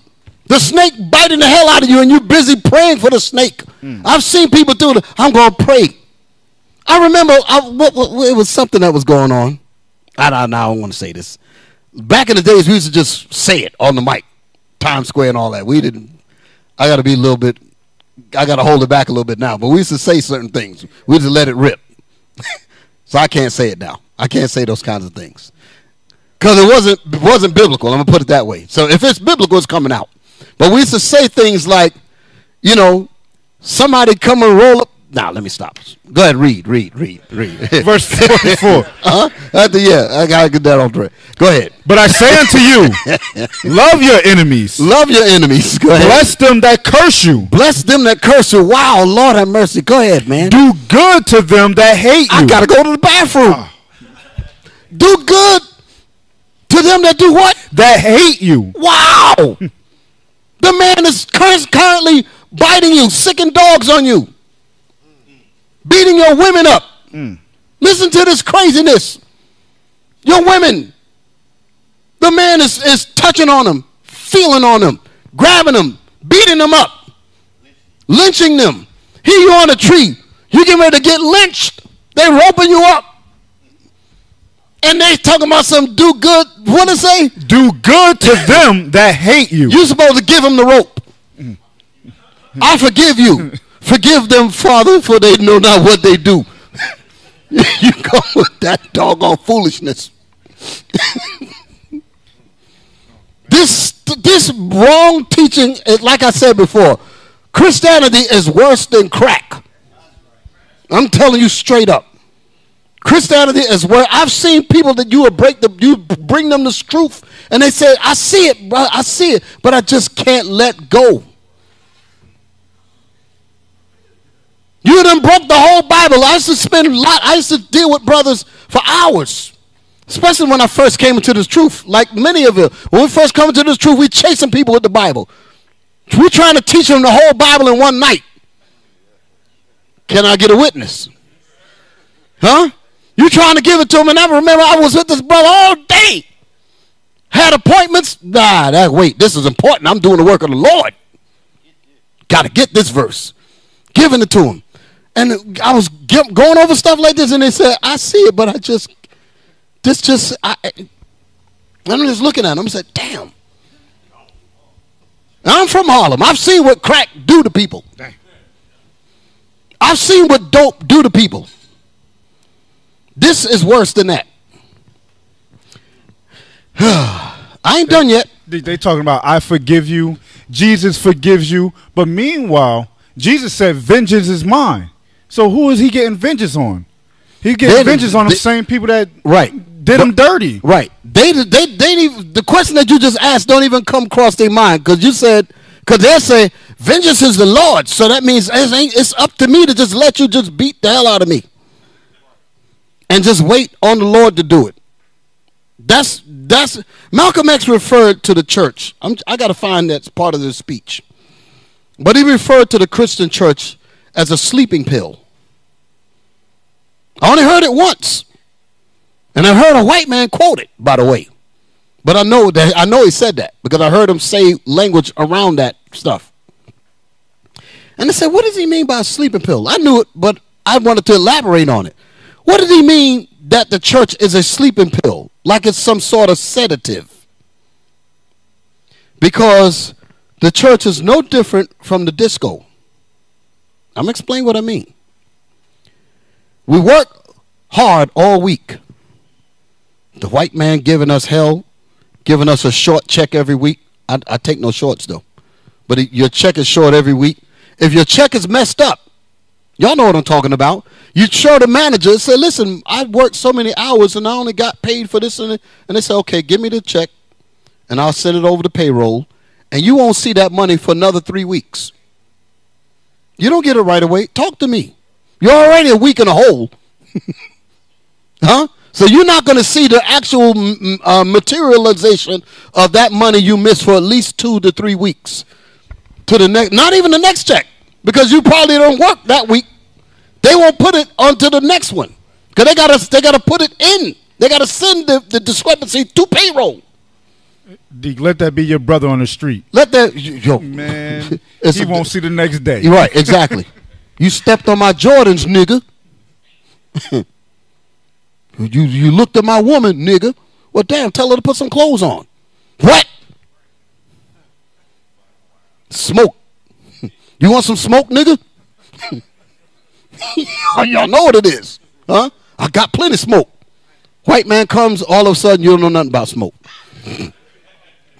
huh? You got all the patience. You got the all the now. patience in the world. That's that's, that's just just it's a bad it's a bad situation, but it's reality. Where am I at? Where am I at? Matthew chapter 5 and verse 44. Running away with it. But I say unto you, love your enemies, bless them that curse you, do good to them that hate you, and pray for them which despitefully use you Ooh, and persecute you. wow.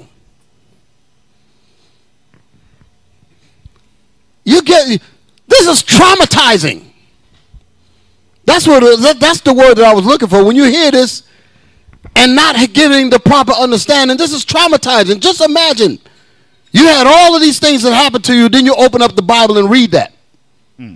When you got Reverend Huckster telling you, yeah, you did the right thing by letting me beat and rape and, and do all of these things to you. You're gonna get yours, you're gonna get your payback in the kingdom of heaven.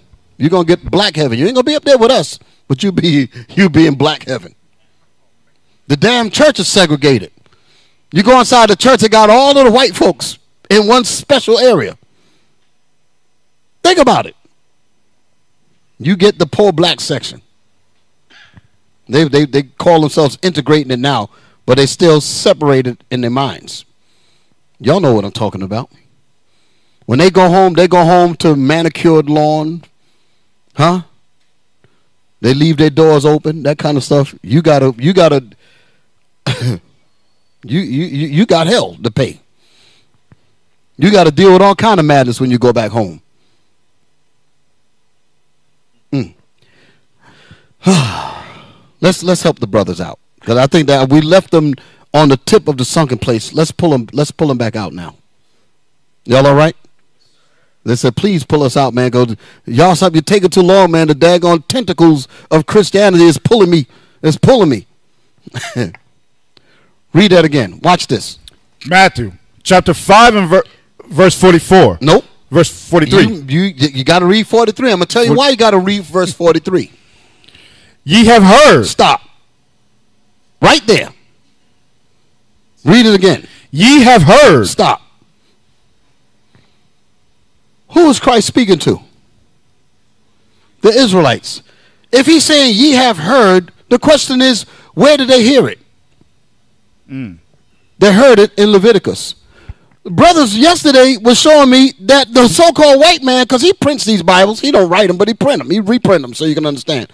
And the precept is in the Bible for you to wake up.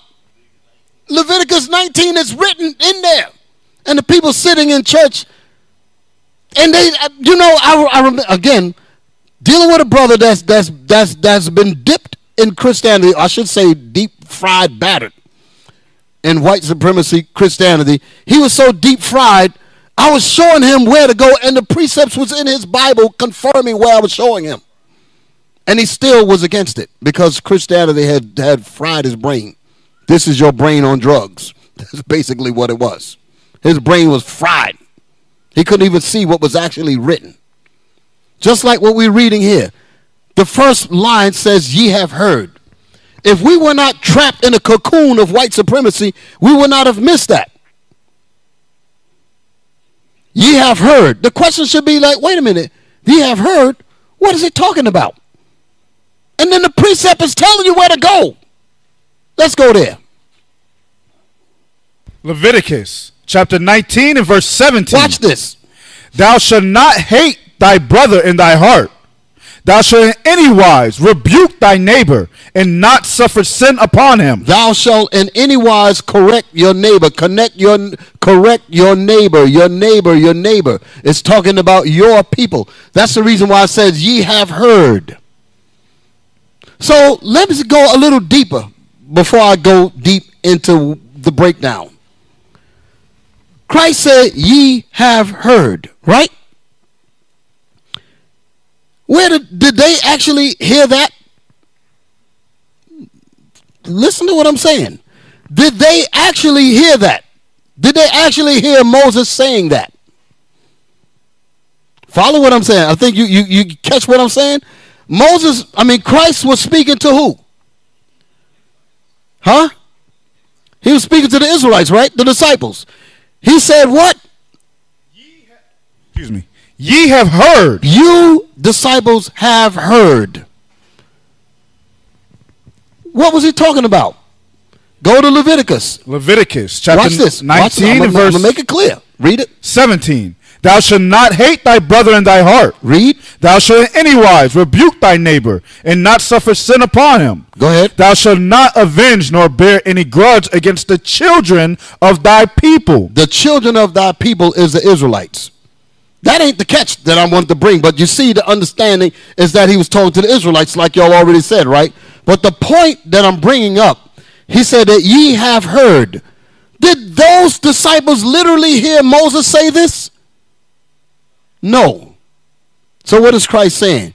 You have heard it in generations past. And I'm gonna go. I'm gonna go a step deeper. Now, give me the scripture that says, "Ask thy father." What that? Job is that in Job? Yeah. Read that. Listen to this here. This is the reason why they wanted to cut off our connectivity with our fathers, because your fathers would bring down the history from when it was said all the way up to now. Job chapter 8 and verse So 8. we're gonna read Job eight and eight first. For inquire, I pray thee, of the former age, For inquire, I pray thee of the former age. Why? Why? Why? Because we had discontinued from our heritage and we had to be brought back to the connecting, back to the binding tie, the Bible. That's the reason why the Most High refers to us as the lost sheep because you're lost from where you belong. And Christ is back to redeem us to tie us back to our fathers, the Bible, the book of our fathers, so you can understand. Read that again. for inquire, I pray thee, of the former age, For inquire, ask of the former age. The former age meaning the ages that were before you. You have to ask about that. Because when we come back, each time that we come back in generations, the information that we knew back then does not come when we come back into the new life. So you can understand. Into the new time period when you read the book of uh, Ecclesiastes. Read. For inquire, I pray thee, of the former age. Come on. And prepare thyself to the search of their fathers. No, to the search of your mothers. Of their fathers. Why is it saying fathers? Because you are your fathers. In other words, learn your history. Prepare yourself to the search of your daddies, to the search of your fathers. Now, give me the other one. I'm coming back to. I got to come back to that one again. I need that one again. Yes, sir. After this, Deuter- Deuteronomy now. Deuteronomy chapter 32 and verse 7. Remember the days of old. Remember the days of old. Go ahead. Consider the years of many generations. Consider the years of many what? generations. Generations. Meaning not just my generation, meaning my father's generation, his father's gen- Consider all those years because those generations are you. Read it again. Remember the days of old. Remember the days of old. Come on. Consider the years of many generations. Consider, ponder on, meditate, study on the years of many generations. Come on. Ask thy fathers. Do what? Ask thy fathers. So what did the beast, the real enemy, do? He killed our fathers so that they cannot give us this history. That's the reason why they attacked your black fathers. That's the reason why they pump dope in our communities to kill the black fathers. That's the reason why they miseducate the black fathers. That's the reason why they poison the minds of the black fathers in these cemeteries called churches. Because they don't want the name of Israel to come on down to the children. This is the Bible we're talking about. You've never heard the Bible before. That's why it sounds strange. I'm not lying. Everything that I'm bringing out, we're reading it, am I? yes, sir. Can I get a witness? Yes, sir. Can I get an amen? Amen. All right. We're having church now. Now you're not. Now you're in church for real. Read. Remember the days of old. Consider the years of many generations. Ask thy fathers. Ask thy fathers. I want you to. I want y'all to keep the word fathers in mind for a minute. Fathers. Ask thy fathers. Now our fathers have been cut off. Can I get a witness? Our fathers were murdered. Our fathers were railroaded, lynched, hung, burned, out of their mind, on dope, locked up. Ask thy fathers. Come on. and he will show thee. And he's supposed to show you. But if my fathers are dead, how am I going to get this? If my fathers are locked up, my little boys growing up, they ain't got no daddy. How they going to learn? No role models, no nothing. Every time I turn on the TV, I see a black man in a damn dress. That ain't no father figure. I see him cooning and cowing down like some weakling. That ain't the kind of father that my sons need. That ain't the kind of son. I mean, that ain't the kind of role model for my black men, for my black sons. So my fathers are dead. So how can I ask my fathers? The most I got the answer. Y'all all right? Is that it on that? Ask thy father, and he will show thee. Ask thy father, and he will show thee. Let's find out where our fathers are. thy They- elders, and they will tell thee. thy elders they will tell thee that's why the elders are set up to give you what you've been missing. Y'all understand? So we understand the heavy weight of being an elder. We understand the heavy weight of being a leader. We understand that. That's the reason why when you come in here we have to be careful how we deal with you because you could be jeremiah. You could be malachi. You could be isaiah. You're the children of the lord. And you could have been in any kind of foolishness. The Lord said, "While all of the, for the, the Bible says there's many ways to destruction, but only, but it's only one that findeth the true way." I know you went through hell just to make it through these doors. I know that. I don't even have to ask because we all went through it. We've drank many different kinds of philosophies, many kinds of, of different so-called schools of thought. Christianity to the sixth power. We've been baptized and fried in lies. But you made it. So if the Lord sought for you to make it, I have to understand that that special, that spirit is special. You all right? Where we at? No, yeah, give me Job. That, thank you. Give me Job. Job chapter 8 and verse 8. For inquire, I pray thee, of the former age, For inquire, I pray thee, of the former age. Go ahead. and prepare thyself to the search of their fathers. So if my fathers are dead, where am I going to get my fathers from? How am I going to find them? Right, the Bible. But we're going to prove that. We're going to prove that. We're going to prove that. And let you know why the nations, our enemies, are really very mad. Very mad. Because though, though they killed our fathers off, how is it that y'all are waking up? That's what's going on in the enemies at the enemy's round table. How is it that IUIC, I'm using us because the most High going, the most High is working with all the different Israelite groups on one way or another. So I'm not making this a thing like, you know, we're the best and all that. I'm not into that stuff. My thing is about getting the kingdom and helping my brothers get there, my brothers and sisters get there. You follow what I'm saying? But they're worried that this truth. How is it that they're waking up? Harvey, didn't you deliver the dope and the guns? Yeah, I gave it to him. I dropped it off. Well, damn it. Send some more. okay. How is it that they're waking up? We lied. Just think about all of the evil that they, they've lied in school. They lied in the church, gave you a white Christ. Where's that in the Bible? You can just start there. Oh, he's racist. He's, he's a black supremacist. They say that we are black supremacists. That doesn't make any sense at all. White supremacy has been in everybody's mind, and the minute you're trying to offset that, you're trying to fight the enemy from killing you, you hate me because you're stopping me from murdering you. You're a black supremacist now. black supreme and what? Mind games.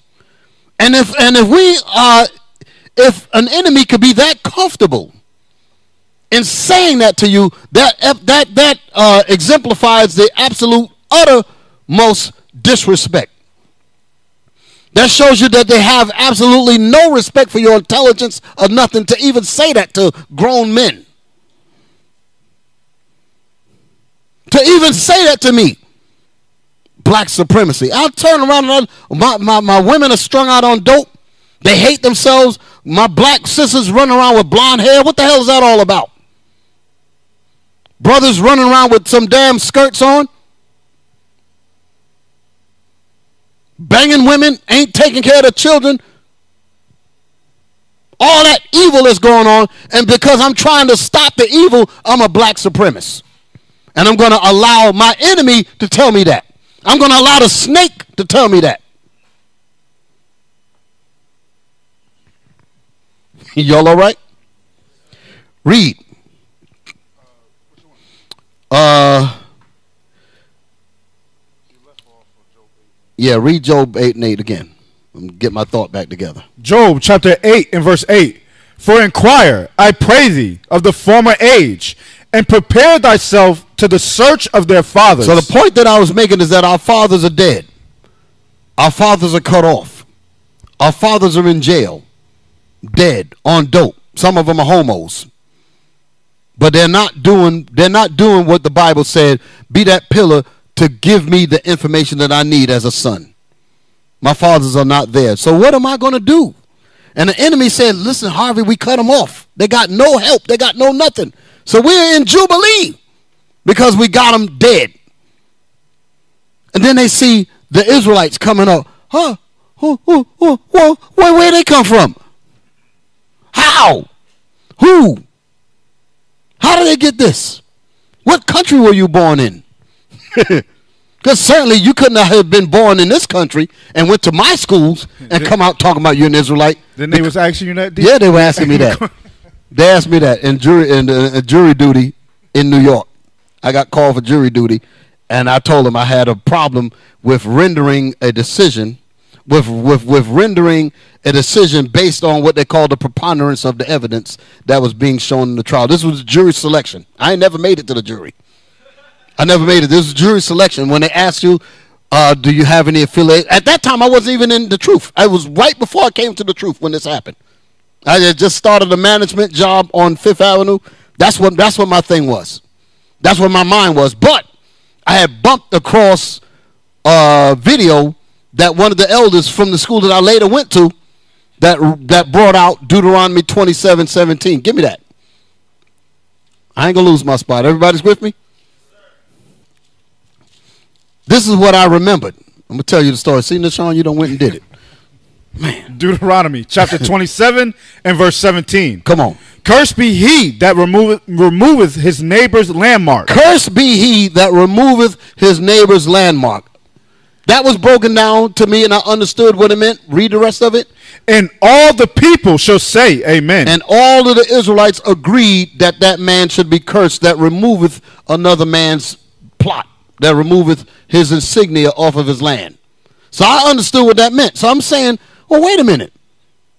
And God we trust. You got on the judge behind on behind the judge. I don't know if they still they still have that in the courtrooms, right? In God we trust behind the judge. And I'm like, eh, if you trust in God, then what about this scripture here? And we're standing on stolen land. How the hell does that work? And you're talking about justice. I couldn't I could not understand that. I said, what do you people mean by justice? The Bible says, Cursed be he that removeth his neighbor's landmark. And here we are on stolen land, buildings on top of bones, buildings on top of blood. You and, and, and I, I was somewhat of a cognizant thinker back then. Still try to be. But I used to listen to a lot of things on the radio. I told I told some of my stories about listening to certain things over the radio that was coming out with the Apollo Theater, different brothers that was bringing information out. And I had learned about the burials of black men in lower Manhattan of a nine year old kid who was worked so hard that the, that the ligaments detached from the bone. Stress injuries on a nine year old boy. And they were about to dove, they were about to, to bolt over the burial ground to build something. I forget what it was. And they found the tombs. They found the tombs and they said, Stop. And they brought all that information up. I had the article. In the place where I worked, they had the article on the wall. I, I, I asked for the article, they gave it to me. I got it home somewhere. And the, and the article was in, I think it was called uh, Newsweek or something. And, uh, and, the, and the topic was Only Remember Us. And it was a black man holding a skull of a nine year old boy talking about this is what happened to us. And, they, and in the writing, it talked about the stress injuries of these slaves that worked themselves to death.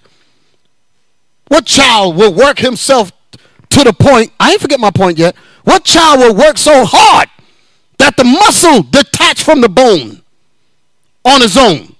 You do that if there's a gun pressed to your head, if there's a whip on your back that'll make you work that hard, that the muscles detach from the bones. These were the bones that they found down there. And I'm sitting up there knowing all of this. And these people talk about justice. I didn't want to be on that thing anyway because I didn't have the understanding that when you do go to jury duty, they still have to pay you and let your job know so that you don't lose your job. I had just gotten a job. I said, well, I ain't going to lose this job. So I was like, I'm trying to get out of it. Everybody always say, when you go to jury duty, you don't want to get called, just say you're going to let everybody go. That don't work for them. They said, no, we're going to get past that. Because people got slick. The court, they got slick. They, a lot of people were saying that, and they still had to go. They still had to, they still got drafted. Me, I came up with something different. Not that I was being slick, but I was coming from the heart. So they asked, they asked a series of questions, and they said, uh, so do you think that you could, you know, they asked you your name and all that. And then they said, um, are you affiliated with any, you know, and by this time I didn't know anything about groups, black groups and all that, that would be considered hate groups and all that. I didn't know nothing about any of that. To be truthful, still don't, because we ain't, we ain't none of that. But you get the point. That kind of climate wasn't there, but he was asking the question. He said, so are you affiliated with this or affiliated with that? I guess he meant like Black Panthers or whatever, stuff like that. No, no, I'm a regular guy that go to work, you know, that kind of thing. So he said, um, so do you think that you could render a decision based on the preponderance of the evidence? And I said, I don't think so. And then he said, why not? I said, well, I know that this land is not really fair. And then I gave an example. I say, for instance, you might have a brother that's in court because he stole a loaf of bread because he was hungry. And then you have Michael Milken. I don't know if y'all know who that dude is. He's a junk bond king that, that milked Wall Street. Look, put his name up there because I keep I keep saying that, and I might be wrong. Michael Milken, uh, Michael Milken in full. Michael Robert Milken, he was born, blah, blah, blah. Uh, American Financial, it moved on me. Financial financier whose junk bond operations fueled many of the corporate takeovers in the 1980s. Okay? So there you go. So this dude was was robbing. He he had milk. He basically did what what's this dude called? What's uh, uh what's this guy? Madoff, Bernie Madoff. That kind of dude. He was that kind of dude that milked the Wall Street, milked them, robbed them with his scheming investments and all that. But anyway, the point. Well, okay, you get rid of that. The point that I'm ma- making about that is that I was making the point. I said, well, Michael Milken can afford all kinds of attorneys and get off. And he's a damn crook. But the preponderance of the evidence won't reflect the negativity of him because he got a top lawyer. But the brother who ain't got no money got to get a court appointed lawyer that ain't going to represent nothing. And because he can't afford a real attorney, I'm going to send him to jail because he was trying to get something to eat. I said, I have a problem with that kind of justice. You, you all all right? So it went on because he's, you know, they're still going, they're still going on. So they said, well, that's how the courts, you know, you, you know, we, we provide attorneys, blah, blah. He's saying all of that. Then he continued to ask me again. He said, so with this new revelation of information, can you render a decision based on the preponderance of the evidence? And I said, no. No, he said, can you be impartial? That was the word he used. He said, can you be impartial? Meaning not take sides. And I said, I don't think I could be impartial because I'm going to be favorable toward the underdog because this is not a fair system. That's the point I was making. So he said, Well, why do you have a problem, sir? I said, Because I don't understand your meaning of justice. What? I said, You have in God we trust behind you on the wall, but we're standing on stolen land. And I said, Deuteronomy said, curse. They said, no, look. They called me into chambers, bro. Called me into chambers, about three or four of them with their black robes, was talking to me. And they asked me questions like, What school did you go to? Where were you born? Stuff like that. And back then I didn't connect it. In other words, he was saying, How in the hell do you make it to be where you are and think like this? Because our teachers in our schools would have recognized that and would have messed you up. This is not in the curriculum. This is not in the curriculum. That's when I was reading books by Jawanza Kunjufu, that brother that wrote that book called Countering the Conspiracy to Destroy Black Boys, meaning how they use the system to, to, to take a genius brother. I used to do a lot of reading back then. I said a lot of reading. But dig what I'm saying.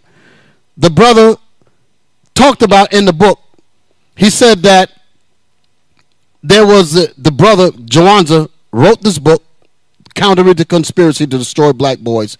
He makes a point of saying that there was a kid, I can't remember his name, that he wrote in the book, might be fictitious, but he said that when the guy came into school, the first, second, third grades, he was in the 98 percentile of the intelligence when they measure the IQ, black kid basically a walking genius. Black man, black guy, black boy. Our kids are brilliant. Follow what I'm saying. But by the time he got to what, what the brother called in the book the fourth grade syndrome, by the time he got to that point, the teachers and, and the educational system had worked to poison his mind so bad that the only thing he thought about was sports and his dump truck and his intelligence and his grades, everything went to the floor. So, my point is the educational system, I don't give a damn what they tell you on TV. This is why it works. They look for the bright of us, they look for the intelligent of us, the genius, the, the, the Moses, so you can understand. They look for that one that has that charisma, that have that, that ability to know how to speak, to gather people's attention. They look for that. They said, we got to deal with him now because he got the potential to be a leader. That's what they did to Dr. King. That's what they were doing. They talked about it in one of those big uh, Congress committees about why they killed Dr. King. They said because people, there's people like that have the charisma, the speaking ability to draw large crowds. And they said we don't want that. So we they they have little telltale posts in their society, whether it be in the educational system, whether it be on your jobs, whether it be no matter where you go, there's always some kind of post looking out for the intelligent of us to shear that off. So they were wondering, how did I get to that level of thinking? I ain't no genius, but that was enough to spark his interest. How did you make it all the way thinking like this here? Because we normally have Negroes like you clipped off. How did you get here? Y'all dig it? So they watch us. That's my point. Vocab is another one of those posts. And IUIC is the genius child that's terrorizing the hell out of them. Your enemies. Y'all all right? That's the point that I'm making. Read that Job 8 and 8 again. Job chapter 8 and verse 8. You got something? Okay. For in Well, hold on. Let, me- let, go ahead and bring it out, Cap. Uh, go to Ezekiel uh, 39 and verse 21. He said, vocab. They know. They've been knowing. Like Dick say, they can't stop it. Let's see, 30, Ezekiel 39, verse 21. Ezekiel chapter 39 and verse 21. Uh-huh. And I will set my glory among the heathen, Who is the glory? We are the children of Israel. Read on. and all the heathen shall see my judgment that I have executed Upon who? The children of Israel, right? Read on. And my hand that I have laid upon them. Uh, That my hand I have laid upon them. Okay, read on. Let's talk Verse- about us. Verse 22. Uh-huh. So the house of Israel shall know that I am the Lord their God I am the Lord their God. Understand that. Read on. from that day and forward. Uh huh. And the heathen shall know. And that- the what? And the heathen shall know And the heathen knows. Read on. that the house of Israel went into captivity for their iniquity. Vocab knows it. Vlad knows it. They all know it. Max Kellerman. Max Kellerman, they know it. They can't hide it. They know it. Because thus says the Lord said they know. Read on. because they trespassed against me. Uh-huh. Therefore, hid I my face from them and gave them into the hand of their enemies. They know we in the hands of, of them, our enemies. Read on. so fell they all by the sword. Yes, we did. Read on. According to their uncleanness and according to their transgressions, have I done unto them and hid my face from them. That's right. Therefore, thus saith the Lord God, now will I bring again the captivity of Jacob Uh-huh. and have mercy upon the whole house of Israel Uh-huh. and will be jealous for my holy name. Because we the glory of Most High Holy Name. That's right. All praises. That was it? Yes, sir. That's all. all praise to the Most High. So now, the phenomenon that Willie Lynch talked about. Anybody got that? That's what I should have bought. Anybody got that page that speaks about the phenomenon? Do you got your book? Hold on, brothers. I got to give it to you. I got a little bit of time. I'm gonna go until I, I ain't I ain't dealt with this yet, but I'm gonna hit some of it, and then I'm gonna save the save the rest for next week. But I'm gonna make sense out of this class. Y'all all right? Yeah, that's it. What you got there? No, no, no. Yeah, look look for the page in there. I want y'all to see this here. Vocab, these judges, the courts, they all think the same way. These teachers in these public schools, you got to really think about how biased this system is. If this was truly a, a, a righteous system, why is it that that that we are so proportionately disadvantaged? That's by design. There's nothing wrong with us intel- intellectually. There's nothing wrong with us biologically. The system is rigged. That's the point. And we know it in spirit. We know that. You know that. You know, on, on the jobs that I've worked, you know, I've worked several of them. And I knew that whenever I had to go into a particular situation, I knew that race had something to do with it. Even without it being said or spoken. You just know it. Y'all got it? You got the part? Could we get it on this? Let me see. Oh, you go. Oh, I see. You gonna get it. Get the part about the. I want y'all to see this here and send it to them. Just, just bear with us. I want y'all to see this here because this is what the problem is. Because the, the the the thing is, listen, we've killed your fathers. We've killed your mothers. We've killed your language. While he's doing that, give me Psalms 83. While he's getting this. This So- is this is this is what the enemies that are from without. This is the meaning on the outside of us. This is their terrible fear, like the scriptures say. They should shake with terrible fear when they see us arising up. Psalms chapter 83 and verse 1. Keep not thou silence, O God. Hold not thy peace, You send it to him? and be not still, O God. For lo, thy enemies make a tumult. The what? Thine enemies make a tumult. You, these are not the enemies that Christ was talking about. Turn the other cheek from. This is a total different enemy here. This is the real enemy of God. Understand the difference. Thine enemies, God's enemies, make a tumult against his people. You can't love these people to stop making a tumult against us. What's wrong with our people, man? We think that we can get together and love the people that's trying to kill us.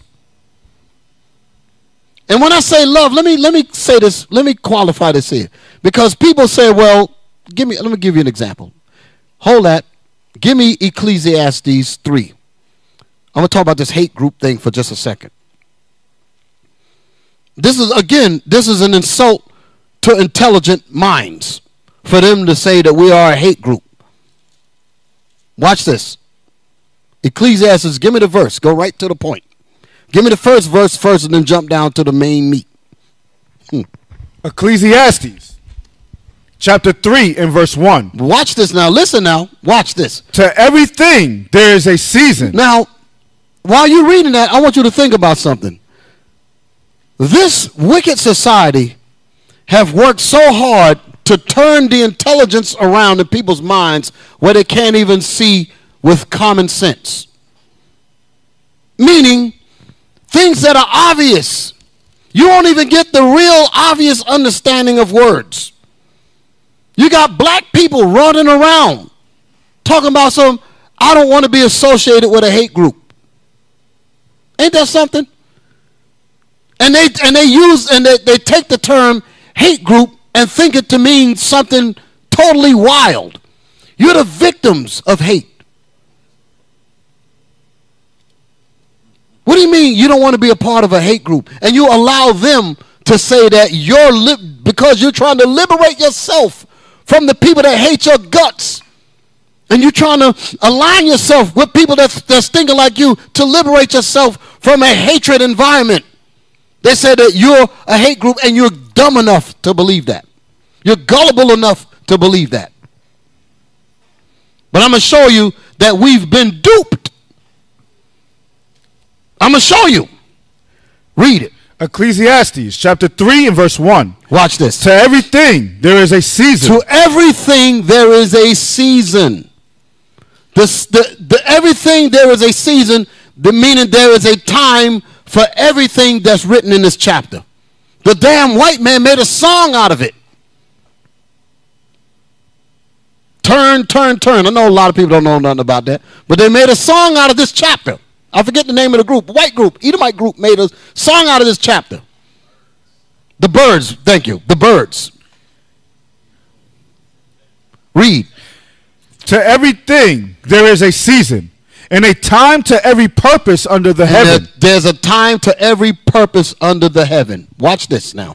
Go ahead. Verse 2. A time to be born, A time to be born and a time to die. and a time to die. That's there's a time for all of the purposes in this chapter. Give me the verse that I want now. Jump to the Ver- main meat. verse 3. What's a time to love? Verse 8. Yes, read A that. time to love There's a time to love and a time to hate. and there's a time to hate. Let's examine that. Because what the what your enemies have done, they have said that if you try to defend yourself, if you try to organize and come together like the Bible says, the Bible says, gather yourselves together, yea, gather together, O nation not desired. You're not desired by who? By the hate group of America. that don't desire you. So you saying, okay, well, I want to come away from you because you don't desire me, which means you hate me, and I am to gather together with my own people and keep God's laws. The hate entity is telling you you're in a hate group. That's what you call no respect for your intelligence at all. Now, I'm going to go a little deeper with this thing about hate. Read it again. Ecclesiastes chapter 3 and verse 8. A time to love and a time to hate. And a time to hate. Now, where's the verse that says about embracing, a time to embrace and all that? Where that verse at? I ain't looking at it. A time to refrain from embracing. Verse 5. Read that. Verse 5. A time to cast away stones There's a time to cast away stones, meaning not time for no time for war. Go ahead. and a time to gather stones And a- together. and there's a time to gather stones together and fight. A time to embrace A time to embrace this is the part that I wanted. A time to say, I want to love you. That's what you do to your own people. That's the enemies that we're supposed to do that to, our people. Embrace them. The scriptures tell us about that. That's in my lesson. I ain't gonna get to it today, probably, but I wanna I wanna I wanna continue this class next week. Y'all all right? Yes, sir. Are y'all gonna make it your business to be here? Yes, sir. All praise to the Most High, because I definitely want to finish. I got some good stuff here, but I got I didn't get sidetracked, but I think I needed to to go down this road. Y'all all right? Yes. Read. a time to embrace A time to embrace, and a time to refrain from embracing. a time to refrain from embracing. Here's the snake that comes, and a snake has a history of biting and killing my children. And I tell my children, don't go near that snake. Refrain from embracing the snake. No, you're a hate, you're a hate teacher. The snake tells me that I'm a hate teacher. Read. Now give me the verse that I wanted. Well, there's more in there. I should be following you, right? Verse 5. Read. A time to cast away stones and a time to gather stones together. Come on. A time to embrace and a time to refrain from embracing. Okay. Uh, Ver- verse 8. A Hold on, time I'm in the wrong. Oh, I'm in Ecclesiasticus. I know something was wrong. Hold on a second. I don't want to get it. Go ahead. Read. Verse 8. Yeah. A time to love and a time to hate. A time to love and a time to hate. A time to love and a time to hate. And then it says a time of war and a time of peace. But let me deal with that part, that first part. A time to love and a time to hate. Hate and love are what? Emotions. Correct? To love someone is to embrace them, to welcome them, because you have an affinity with them. Because you are like them. Because they are family.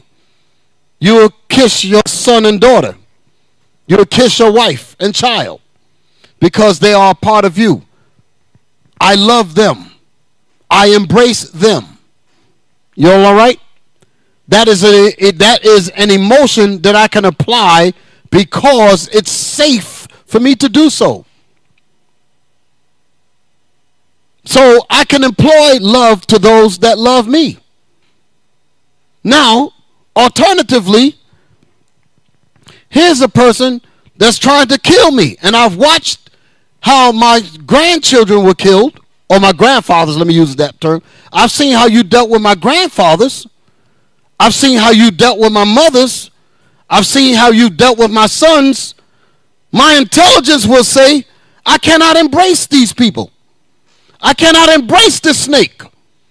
So the emotion of hate, so you can understand, will prevent you from making a fatal mistake. That's why God put that in us. Because if you look to, to get involved, you want to jump inside the fire.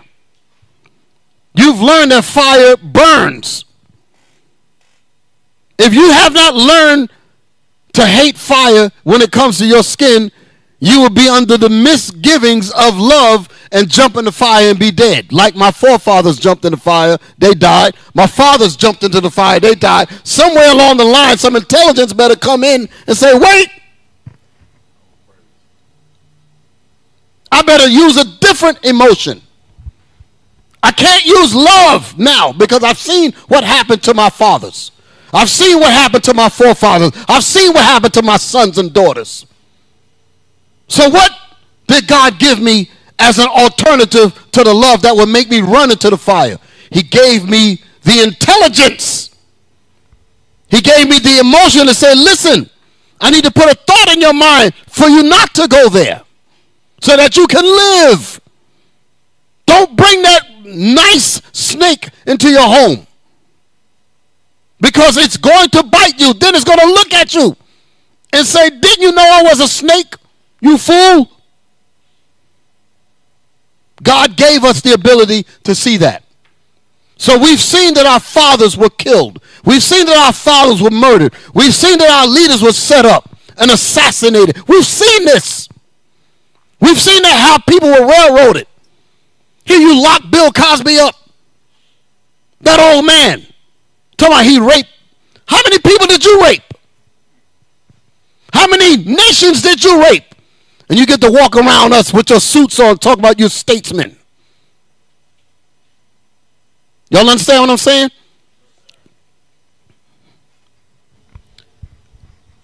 So I wanted y'all to understand the whole thing, what they, the, the dupeness that they've used with this hate thing is that you're running around, I want to shoot everybody.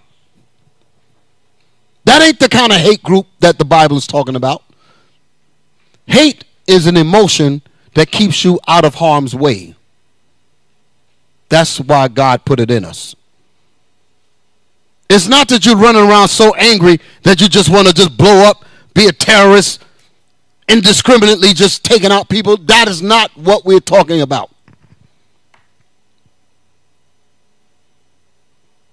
Hate is an emotion that alarms you. The mama sheep tell the baby sheep. That is the big bad wolf. The mama sheep is a hate teacher.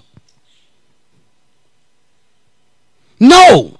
The mama sheep says, Listen, I need to employ you with a thought in your mind to keep you from being dinner on the wolf's plate. Y'all all right? Everybody's good. So, no, this hate group stuff that can attribute to somebody else running around talking about something. I'm mad. I want to shoot up everybody. That's not what we're talking about. Intelligence is not hate. Y'all understand that? What would you say to 2 Corinthians 6 17? Get that. 2 Corinthians 6 17. What would you say to this? Second Corinthians chapter 6 and verse 17. Wherefore, come out from among them, and be ye separate, saith the Lord. They would call Paul, which is basically quoting Christ. Paul said, I say the truth in Christ, I lie not. So the words that Paul is speaking is actually coming from Christ. Christ, through Paul, says, What? Wherefore, come out from among them, Come out from among them. Go ahead. and be ye separate, saith the Lord. Saith who? Saith the Lord. Saith the hate group. Saith the Lord. Saith the black KKK. Saith the Lord. Saith the black supremacists. Saith the Lord. You see that? That will be deemed as hate speech. So we're not a hate group. We're a sensible group. We're a spiritual group. We're the, we're the Israelites that the Most High talks about in the Bible. We're the Israelites that the Bible speaks of. That's who we are. And because of that, like Christ said, that ye shall be hated of all nations. So the whole world is a hate group against his people. That's what Christ said. Ye shall be hated of all nations for my name's sake. That's why they try to make us believe that we are a group within ourselves and for us to be disassociated with each other. Show you that.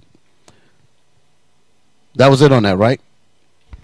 And touch not the unclean thing, And touch not the unclean thing, I will receive you. and I will separate you, and I will receive you, and I will reject them.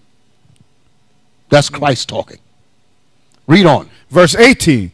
And will be a father unto you. And I will be a father unto you because your fathers are dead. Mm. So I have to be your father. Go ahead. And ye shall be my son, sons and daughters, saith the Lord Reading the Most High going to bring us back to where we belong. And I will be your sons and daughters. saith I mean, the- I mean, I will, what did it say? And ye shall be my sons and daughters, saith the Lord. How come they don't read this in church? This is really, this is really sickening. I've even seen the enemy take videos that we've done and omit the scripture purposely and try to get get us in the middle of an emotional response or something and say, "Look at him." I've, I've and I've seen them do this for years. Even back at One West, they got one of they got one of our tapes when we were teaching. And when the scriptures came, they turned the volume down purposely. And I'm looking at it. The volume went down. So you couldn't even the brother was holding the Bible up. I remember the video clear. The brother was holding the Bible screaming. And you heard silence, nothing.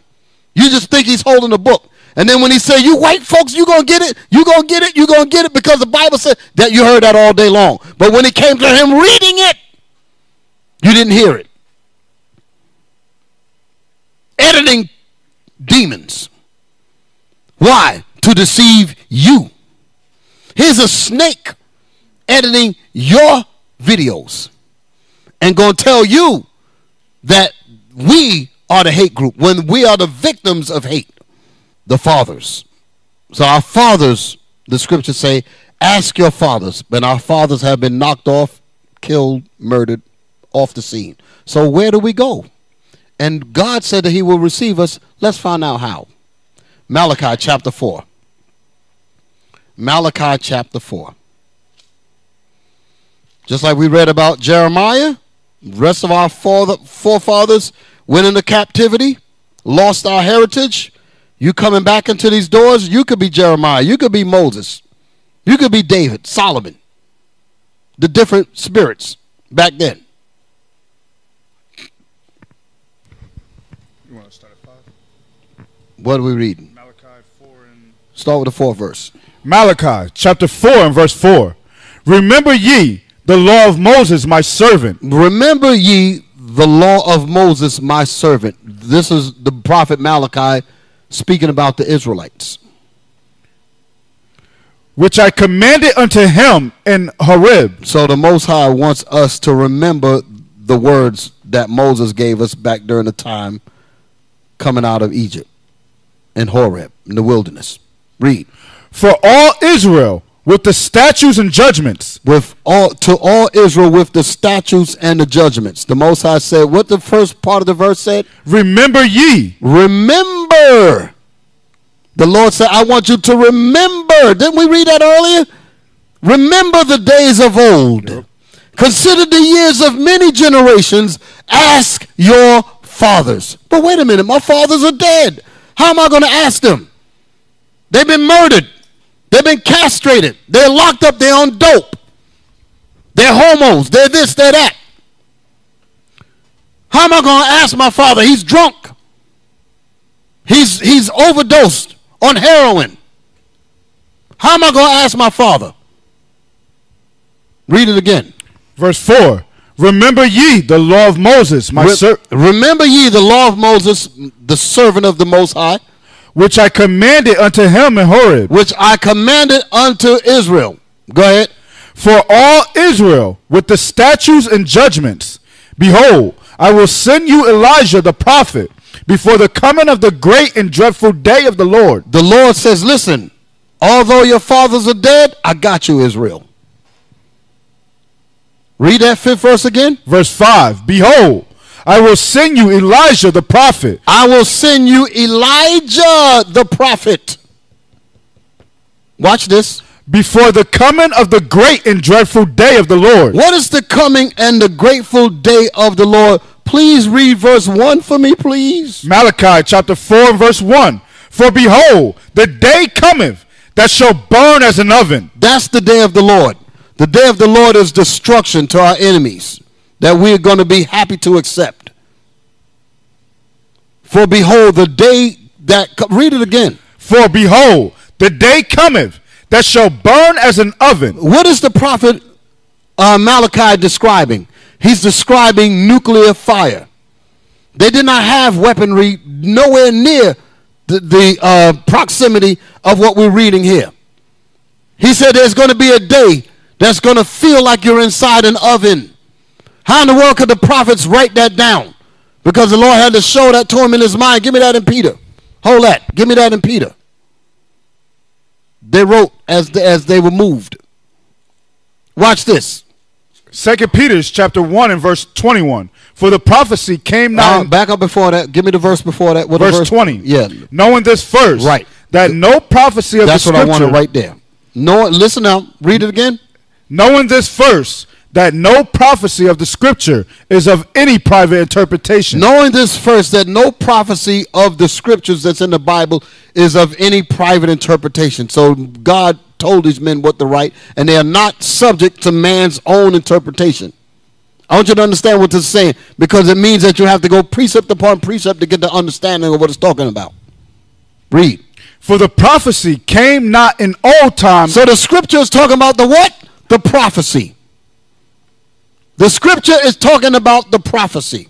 For the what? For the prophecy came not in old time by the will of man. No, the prophecy did not come to Malachi by Malachi's will himself. God put that in Malachi's head. Read that statement again. For the prophecy came not in old time by the will of man. For the prophecy did not come to Malachi because Malachi wanted it to come there. No. Go ahead. But holy men of God spake as the as they were moved by the Holy Ghost. But holy men of God spake, meaning they wrote as they were moved by the Holy Ghost that told them what to write. So you can understand. That's what it means. These men were told to write down what they were writing down. You had the prophets that was writing stuff and they got sick because of stuff. Give me that in Habakkuk. Most High was showing visions of all kind of things, and some of the prophets got sick because it was too much for them. He said, rottenness entered into my bones. Habakkuk chapter 3 and verse 16. When I heard, my belly trembled. When I heard the destruction that the chapter's talking about, the prophet, who are we reading about? Who's this? Habakkuk. Habakkuk. Habakkuk is, is talking about the destruction that the Lord showed him in this chapter. This whole chapter is talking about, the whole book is talking about the destruction. And he, Habakkuk was writing it down, and, and, and God was showing him this stuff in his mind. Read, read it again. When I heard, my belly trembled. When I heard the visions, my belly trembled. Go ahead. my lips quivered. My lips quivered. Go ahead. my lips quivered at the voice. My lips quivered at the voice. He heard he heard powerful statements.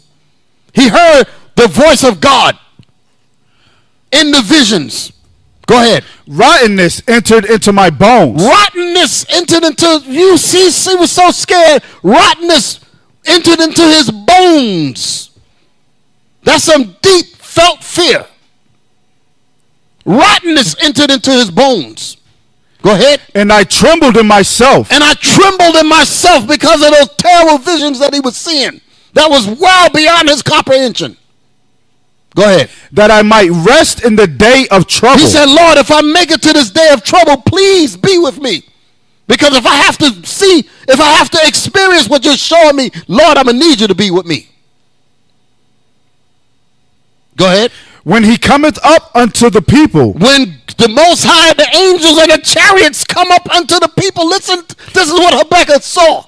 Go ahead. He will invade them with his troops. God will invade the enemies with his troops. So he saw galactic battle. He saw the angels coming out the sky in that V formation. Isaiah talked about it as well. Give me that. Isaiah uh, 5 and 31, I think it is. Or 31 and 5. I think it's 31 and 5. Hold it. 31 and 5. Yes.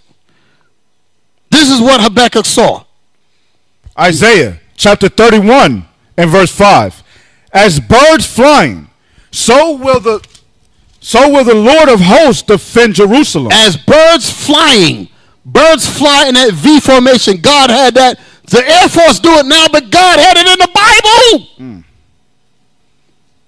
The birds flying that V formation. That's military maneuvers. God did that. Hell, you talking about Esau's military? God's military. Man, that was a beautiful sight. As birds flying, what would the Lord do? so will the Lord of hosts defend Jerusalem. So will the Lord of hosts defend Jerusalem. Come on. Defending also, he will deliver it. And defending also, he will deliver Jerusalem from the hand of all that hate us. Go ahead. And passing over, And he, passing over, he will preserve it. he will preserve it. And passing over, and passing over our deliverance, like the Passover. And passing over, he will deliver Israel like he did before. Give me Jeremiah 16 and 14. Uh, Habakkuk saw all of this because it's not a private interpretation. So the Lord showed Habakkuk what he showed Isaiah. He showed Isaiah what he showed Habakkuk. He showed what's written in Malachi, the day that shall burn as an oven. They all saw this and are scared of the death. Rottenness entered into their bones because they saw this thing. And there was nothing around that even came close to that reality. So you can imagine what kind of men these were. Read. Jeremiah chapter 16 and verse 14. Therefore, behold, the days come, save the Lord, that it shall no more be said, The Lord liveth, that brought up the children of Israel out of the land of Egypt. Why? But the, the- hold it. The day's gonna come when what when the Lord he said the day shall come when it shall no more be said, I am the Lord that have taken the children of Israel from the bondage of Egypt. Because today they're still talking about the whole world is still talking about when we were delivered out of Egypt. Are they not? They show it every year on the so-called Ten Commandments with that white man playing Moses. But y'all get the point.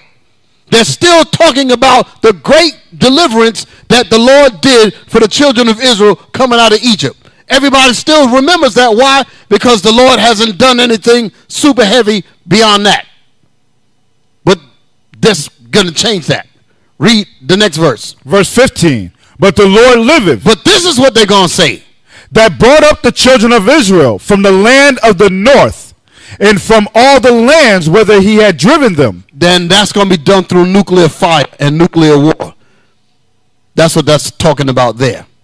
So the Lord said that's going to make you going to that's going to make us forget about the deliverance from Egypt because this was going to be so galactic and nobody going to be talking about what he did in Egypt because this is going to surpass that by every measure. How he going to deliver us from his. That's what Psalms 91 is talking about. Give me that. Psalms 91. These filthy Christian churches should have told you that your, your deliverance is mighty. With these lying, sick pastors. Got the people of God sitting up in there thinking that they're some slaves.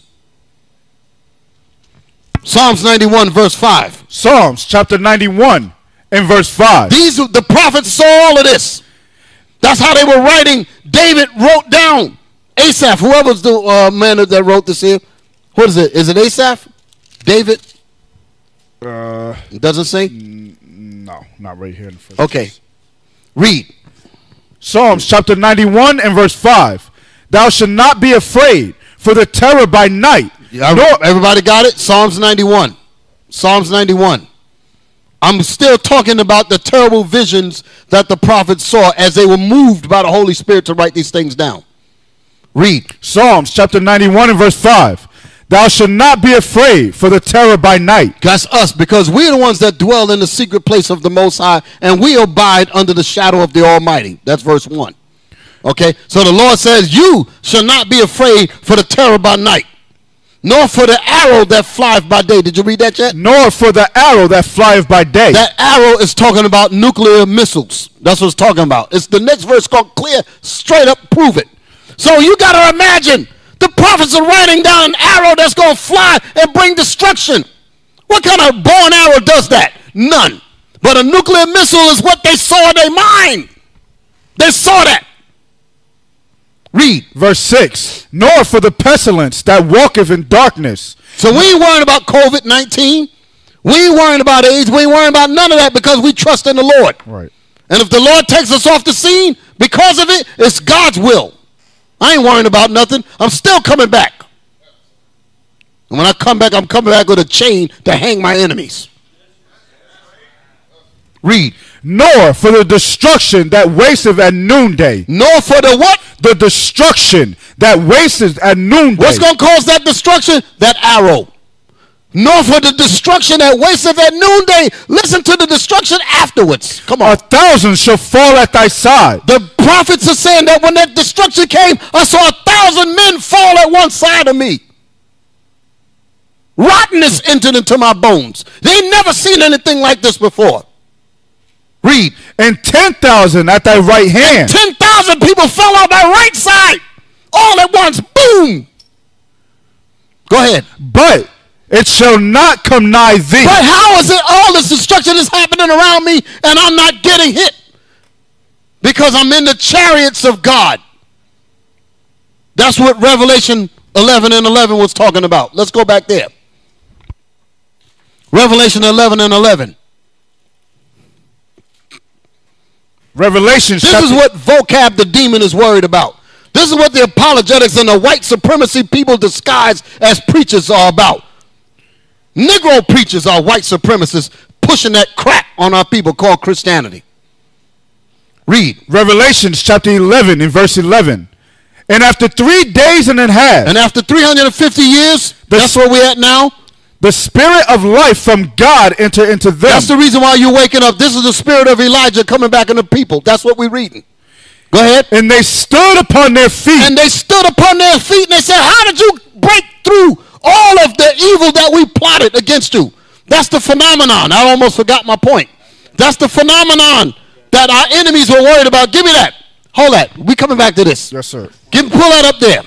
This is what your enemies are worried about.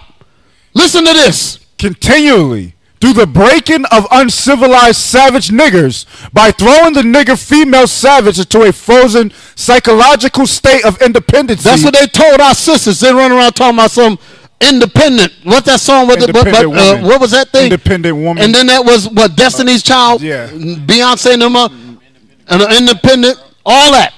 That was to break up the family. That's what J. Edgar Hoover was concerned with. He said the number one threat to the prosperity of the United States is Negro unity. Can you can, you- can you believe that? He said that if black people are unified, that's a threat to the United States. The, Hoover said this. Can you believe that? So if that's how he's thinking, that means that means the thing. Give me Sirach. You stay there. Give me because I don't. I'm going to too many places. Give me Sirach chapter 25 and one. Watch this. He said unity. The book of Sirach, chapter 25, verse Yeah, 1. you, you go back where you was at. He's got it. Come in, on. in three things I was beautified Listen good. And stood up beautiful, both before God and men. Back it up. Read it again. In three things I was beautified Give me Hoover. Put the devil up there. Give me Hoover, the thing I posted last night. Put it up there on the screen. In three things I was beautified and stood up beautiful, both before God and men. So the three things that the prophet is about to bring out was beautiful before the eyes of God, and it is also beautiful before the eyes of man, righteous men. It's beautiful to us. Listen, go ahead. the unity of brethren The unity of brothers is beautiful before the eyes of God. The unity of brothers is beautiful before the eyes of man. Go ahead. The love of neighbors. The love of neighbors. Love my neighbor as I love myself. The Lord said that that's beautiful before man and before God. That's beautiful. Go ahead.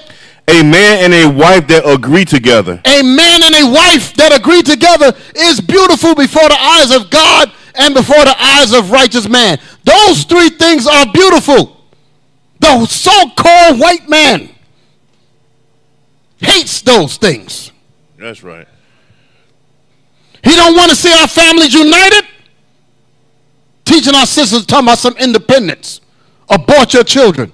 Separate the man and the woman. Welfare laws was to push the man out of the house in the 70s. Break up the unity of the family. Mm. They don't want that. They love the disunity. The unity of brethren. They don't want that. What was the other one? Love thy neighbor as thyself. No, we want you to hate yourselves. Black on black crime, we love that. That's what the enemy said. Put it up there. Hoover. Look at what this demon said. When J. Edgar who Let me read it because I want it loud.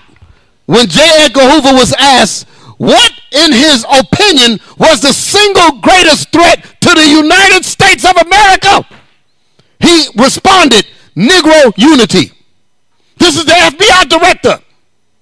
He said, Negro unity is the greatest threat to the stability of America. So, what were we brought over here for?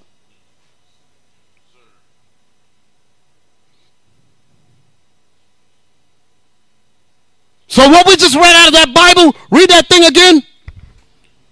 Revelations No, The, the, book, the Sirach. the book of Sirach, chapter 25, verse 1.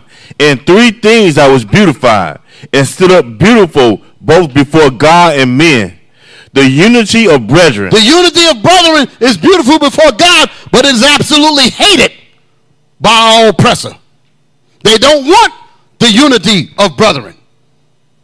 They don't want what Zephaniah 2 and 1 said come together. O nation not desired. They're going to tell you, no, that's a hate group that you're about to join in. Stay with us so we can continue to kill you. So we can continue to divide your families up. So we can continue to sow, push dope on your sons and daughters. Go ahead. the love of neighbors. The love of neighbors. We don't want the love of neighbors. Here's some guns so that you can settle your little stupid disputes and kill each other. You looked at me wrong, nigga. I don't take no shorts. Well, ain't your check short? Nigga, that's the white man. Don't worry about that. But nigga, I'm killing you. Go ahead. a man and a wife that agree together. They love broken families. Mm. They hate to see the black man and the black woman together in unity. I know they hate that. They hate to see our brothers and sisters united together. A beautiful black family, a beautiful quote unquote Hispanic family. They hate that Yes, That's right. because that's a threat to this wicked system. That's why the Lord say, "Gonna burn it up." Thank God for that. Thank God for that thing. Go back to my bombs. Shoot. Yeah, yeah, yeah, yeah. I need the phenomena. That's what I needed. Yeah, read that. Thank you. I got too much going on. Bishop about to come on. I know I got to get it in there now. Come on. Give me my phenomenon again. Huh? Then the bombs. Then we're going to end it. Y'all all right?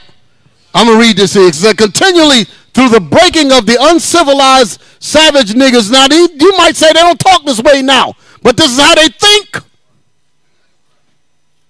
It says, by throwing a nigga female savage into a frozen psychological state of independency, she thinks that she could go somewhere without a man. The hell is this? But the devil made her think this way.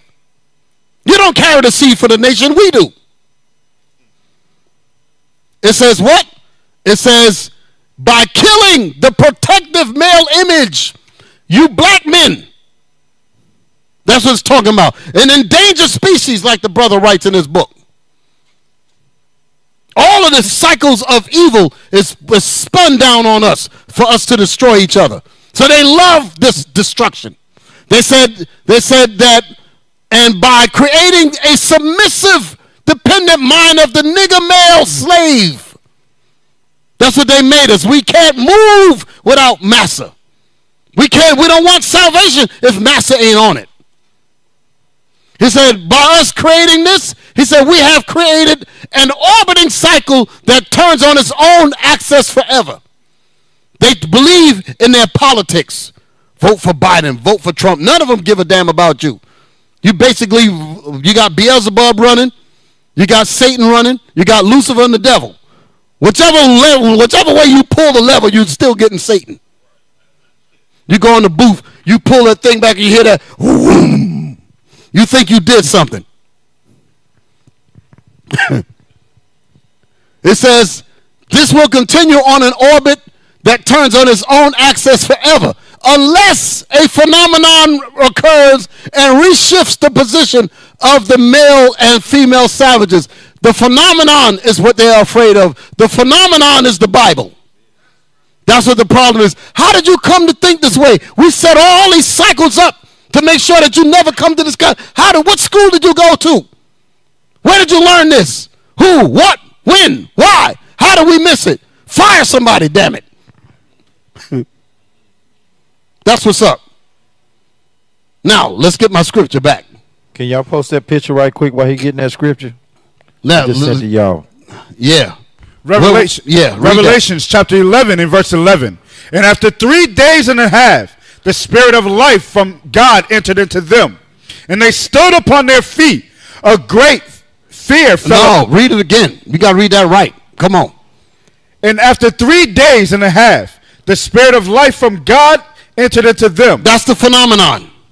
Go ahead. The spirit of life from God entered into them, and man once again became a living soul. You're the atoms that's being reborn again. Go ahead. And they stood upon their feet. And they stood up like men. Go ahead. and great fear fell upon them which saw them. And great fear fell upon them which saw them. Now go back to Malachi. I got to finish that up. Malachi. Malachi chapter 4 and verse 1. Right.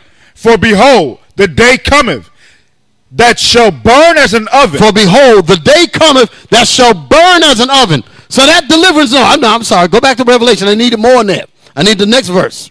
This is what the prophets saw. So they saw us standing up after, after the spirit of life from God came. Revelations chapter 11 and verse 12. And they heard a great voice from heaven This saying, is why Psalms 91 said what it said. When it said that, that 10,000 fall, fell at his right hand and a thousand fell at his left hand. And he said, but it shall not come nigh thee because the prophets, the men was being taken up by the chariots of God. So when we were being beamed up, we saw the destruction of our enemies. That's what that's talking about in Psalms 91. Now read it. verse 12. And they heard a great voice from heaven saying unto them, Come up hither. That's the chariots. So the rottenness into my bones because I saw chariots come down. I saw the V formation and all that deliverance. That scared the hell out of the prophets. Go ahead. And they ascended up to heaven in a cloud. And they descended up to heaven in a cloud. That's what Psalms 91 was saying. Because it did not come near thee. Go back to Psalms 91. There's more I need in there. Psalms 91. Listen. Psalms 91. Psalms 91 and 5. chapter 91 and verse 5. Six verse, I mean. Come on, six. Verse 6 Nor for the pestilence that walketh in darkness, nor for the destruction that wasteth at noonday. nor for the destruction that wasted at noonday. That's what we was reading in Revelation. Read. A thousand shall fall at thy side. A thousand shall fall at thy side. Go ahead. ten thousand at thy right hand. Ten thousand people gonna fall on your right hand side. Listen, But it shall not come nigh thee. because they ascended up to heaven in a cloud. The prophets saw all of that. Go ahead. Only with thy eyes That's shall, the part that I wanted right there. Only with your eyes. shall thou behold and see the reward of the wicked. Only with thine eyes we're gonna see our enemies get destroyed. He said, but it shall not come nigh you. Why? Because you're going to get taken up. These brothers saw this when they had no kind of weaponry to understand that at all. That's what caused rottenness to enter into their bones because they saw this stuff. And it scared the hell out of them. Now, go back to mm, uh, Malachi. Give me, give me Isaiah 13 and 6. Isaiah 13 and 6. Because it's talking about the day of the Lord. Isaiah 13 and 6. Isaiah chapter 13 and verse 6. Howl ye, for the day of the Lord is at hand. Howl ye, for the day of the Lord is at hand.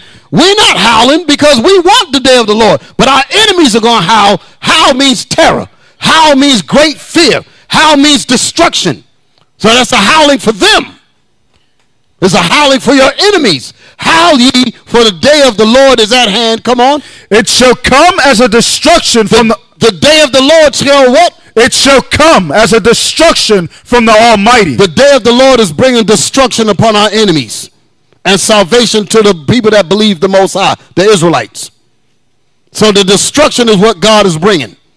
That's what the prophets were writing down. Now go back to Malachi. I'm going to close it up after this. This is what the nations are afraid of. And they notice because they see the prophecies coming to pass, and just like the scriptures say, that they that they are moved with terrible fear because they see this because they know that they have but a short time. Because he's looking at you waking up and wondering and worried. Go ahead. Malachi chapter 4 and verse 1. For behold, the day cometh that shall burn as an oven, It shall come as a destruction from God. That's what we just read in Isaiah. Read. and all the proud, yea, and all that do wickedly shall be s- s- Stubble, stubble, meaning burnt up. 10,000 at thy side and 1,000 at thy right hand, 10,000 at thy other side. And but it shall not come nigh me, nigh thee. Why? Because they're going to be stubble burned up by that nuclear fire that the first verse was telling you about. For behold, the day cometh that shall burn as an oven. Now jump down to verse 4. Malachi chapter 4 and verse 4. So the Lord wants us to understand the promise. He wants us to understand that his promise is not slack, like it says in Peter's. He wants you to understand that he's bringing this destruction. So in our understanding, he wants us to get this. Read that. Remember ye the law of Moses, But you Israelites, I want you to remember the law of Moses. Go ahead. my servant, My servant, come on. which I commanded unto him in Horeb, Read. For all Israel with the statutes and judgments. So this is what I want you Israelites to know.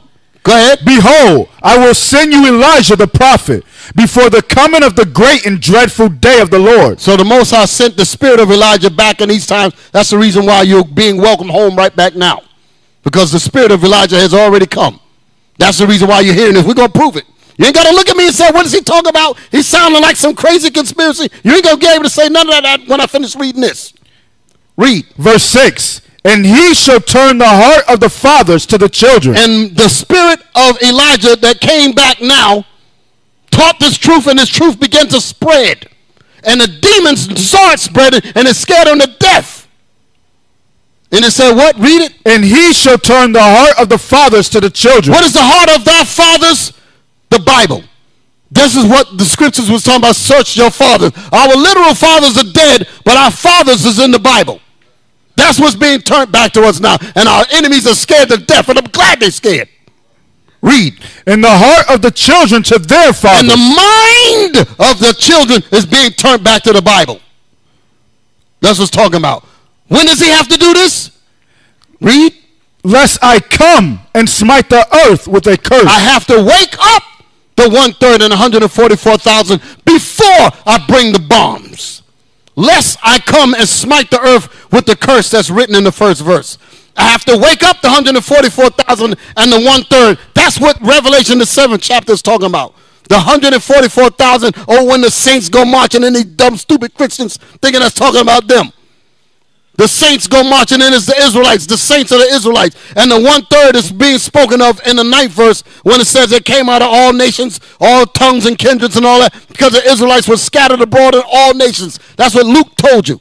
That the children of Israel will be led into captivity under all nations until the time of the Gentiles is done. That's what we're reading here. So our time is coming. Our time is coming. Our time is coming. Thank the Lord for that. We used to scream black power while heroin was pushed. But at the end of the day, nothing's in vain. IUIC has been given a vision. The tents of Judah has risen. Many has attempted the mission, minor murmuring, omitting, and missing the mark. Just reading that he had the flame of fire in his eyes gave us the spark. We on Paul's mission. We out on the road, purple and gold. From Mexico, Cuba, Haiti, Ghana, Sierra Leone. 144,000 boots banging, concrete crackling. These are our men repented at heart. The scriptures is proof. IUIC, we deliver the truth.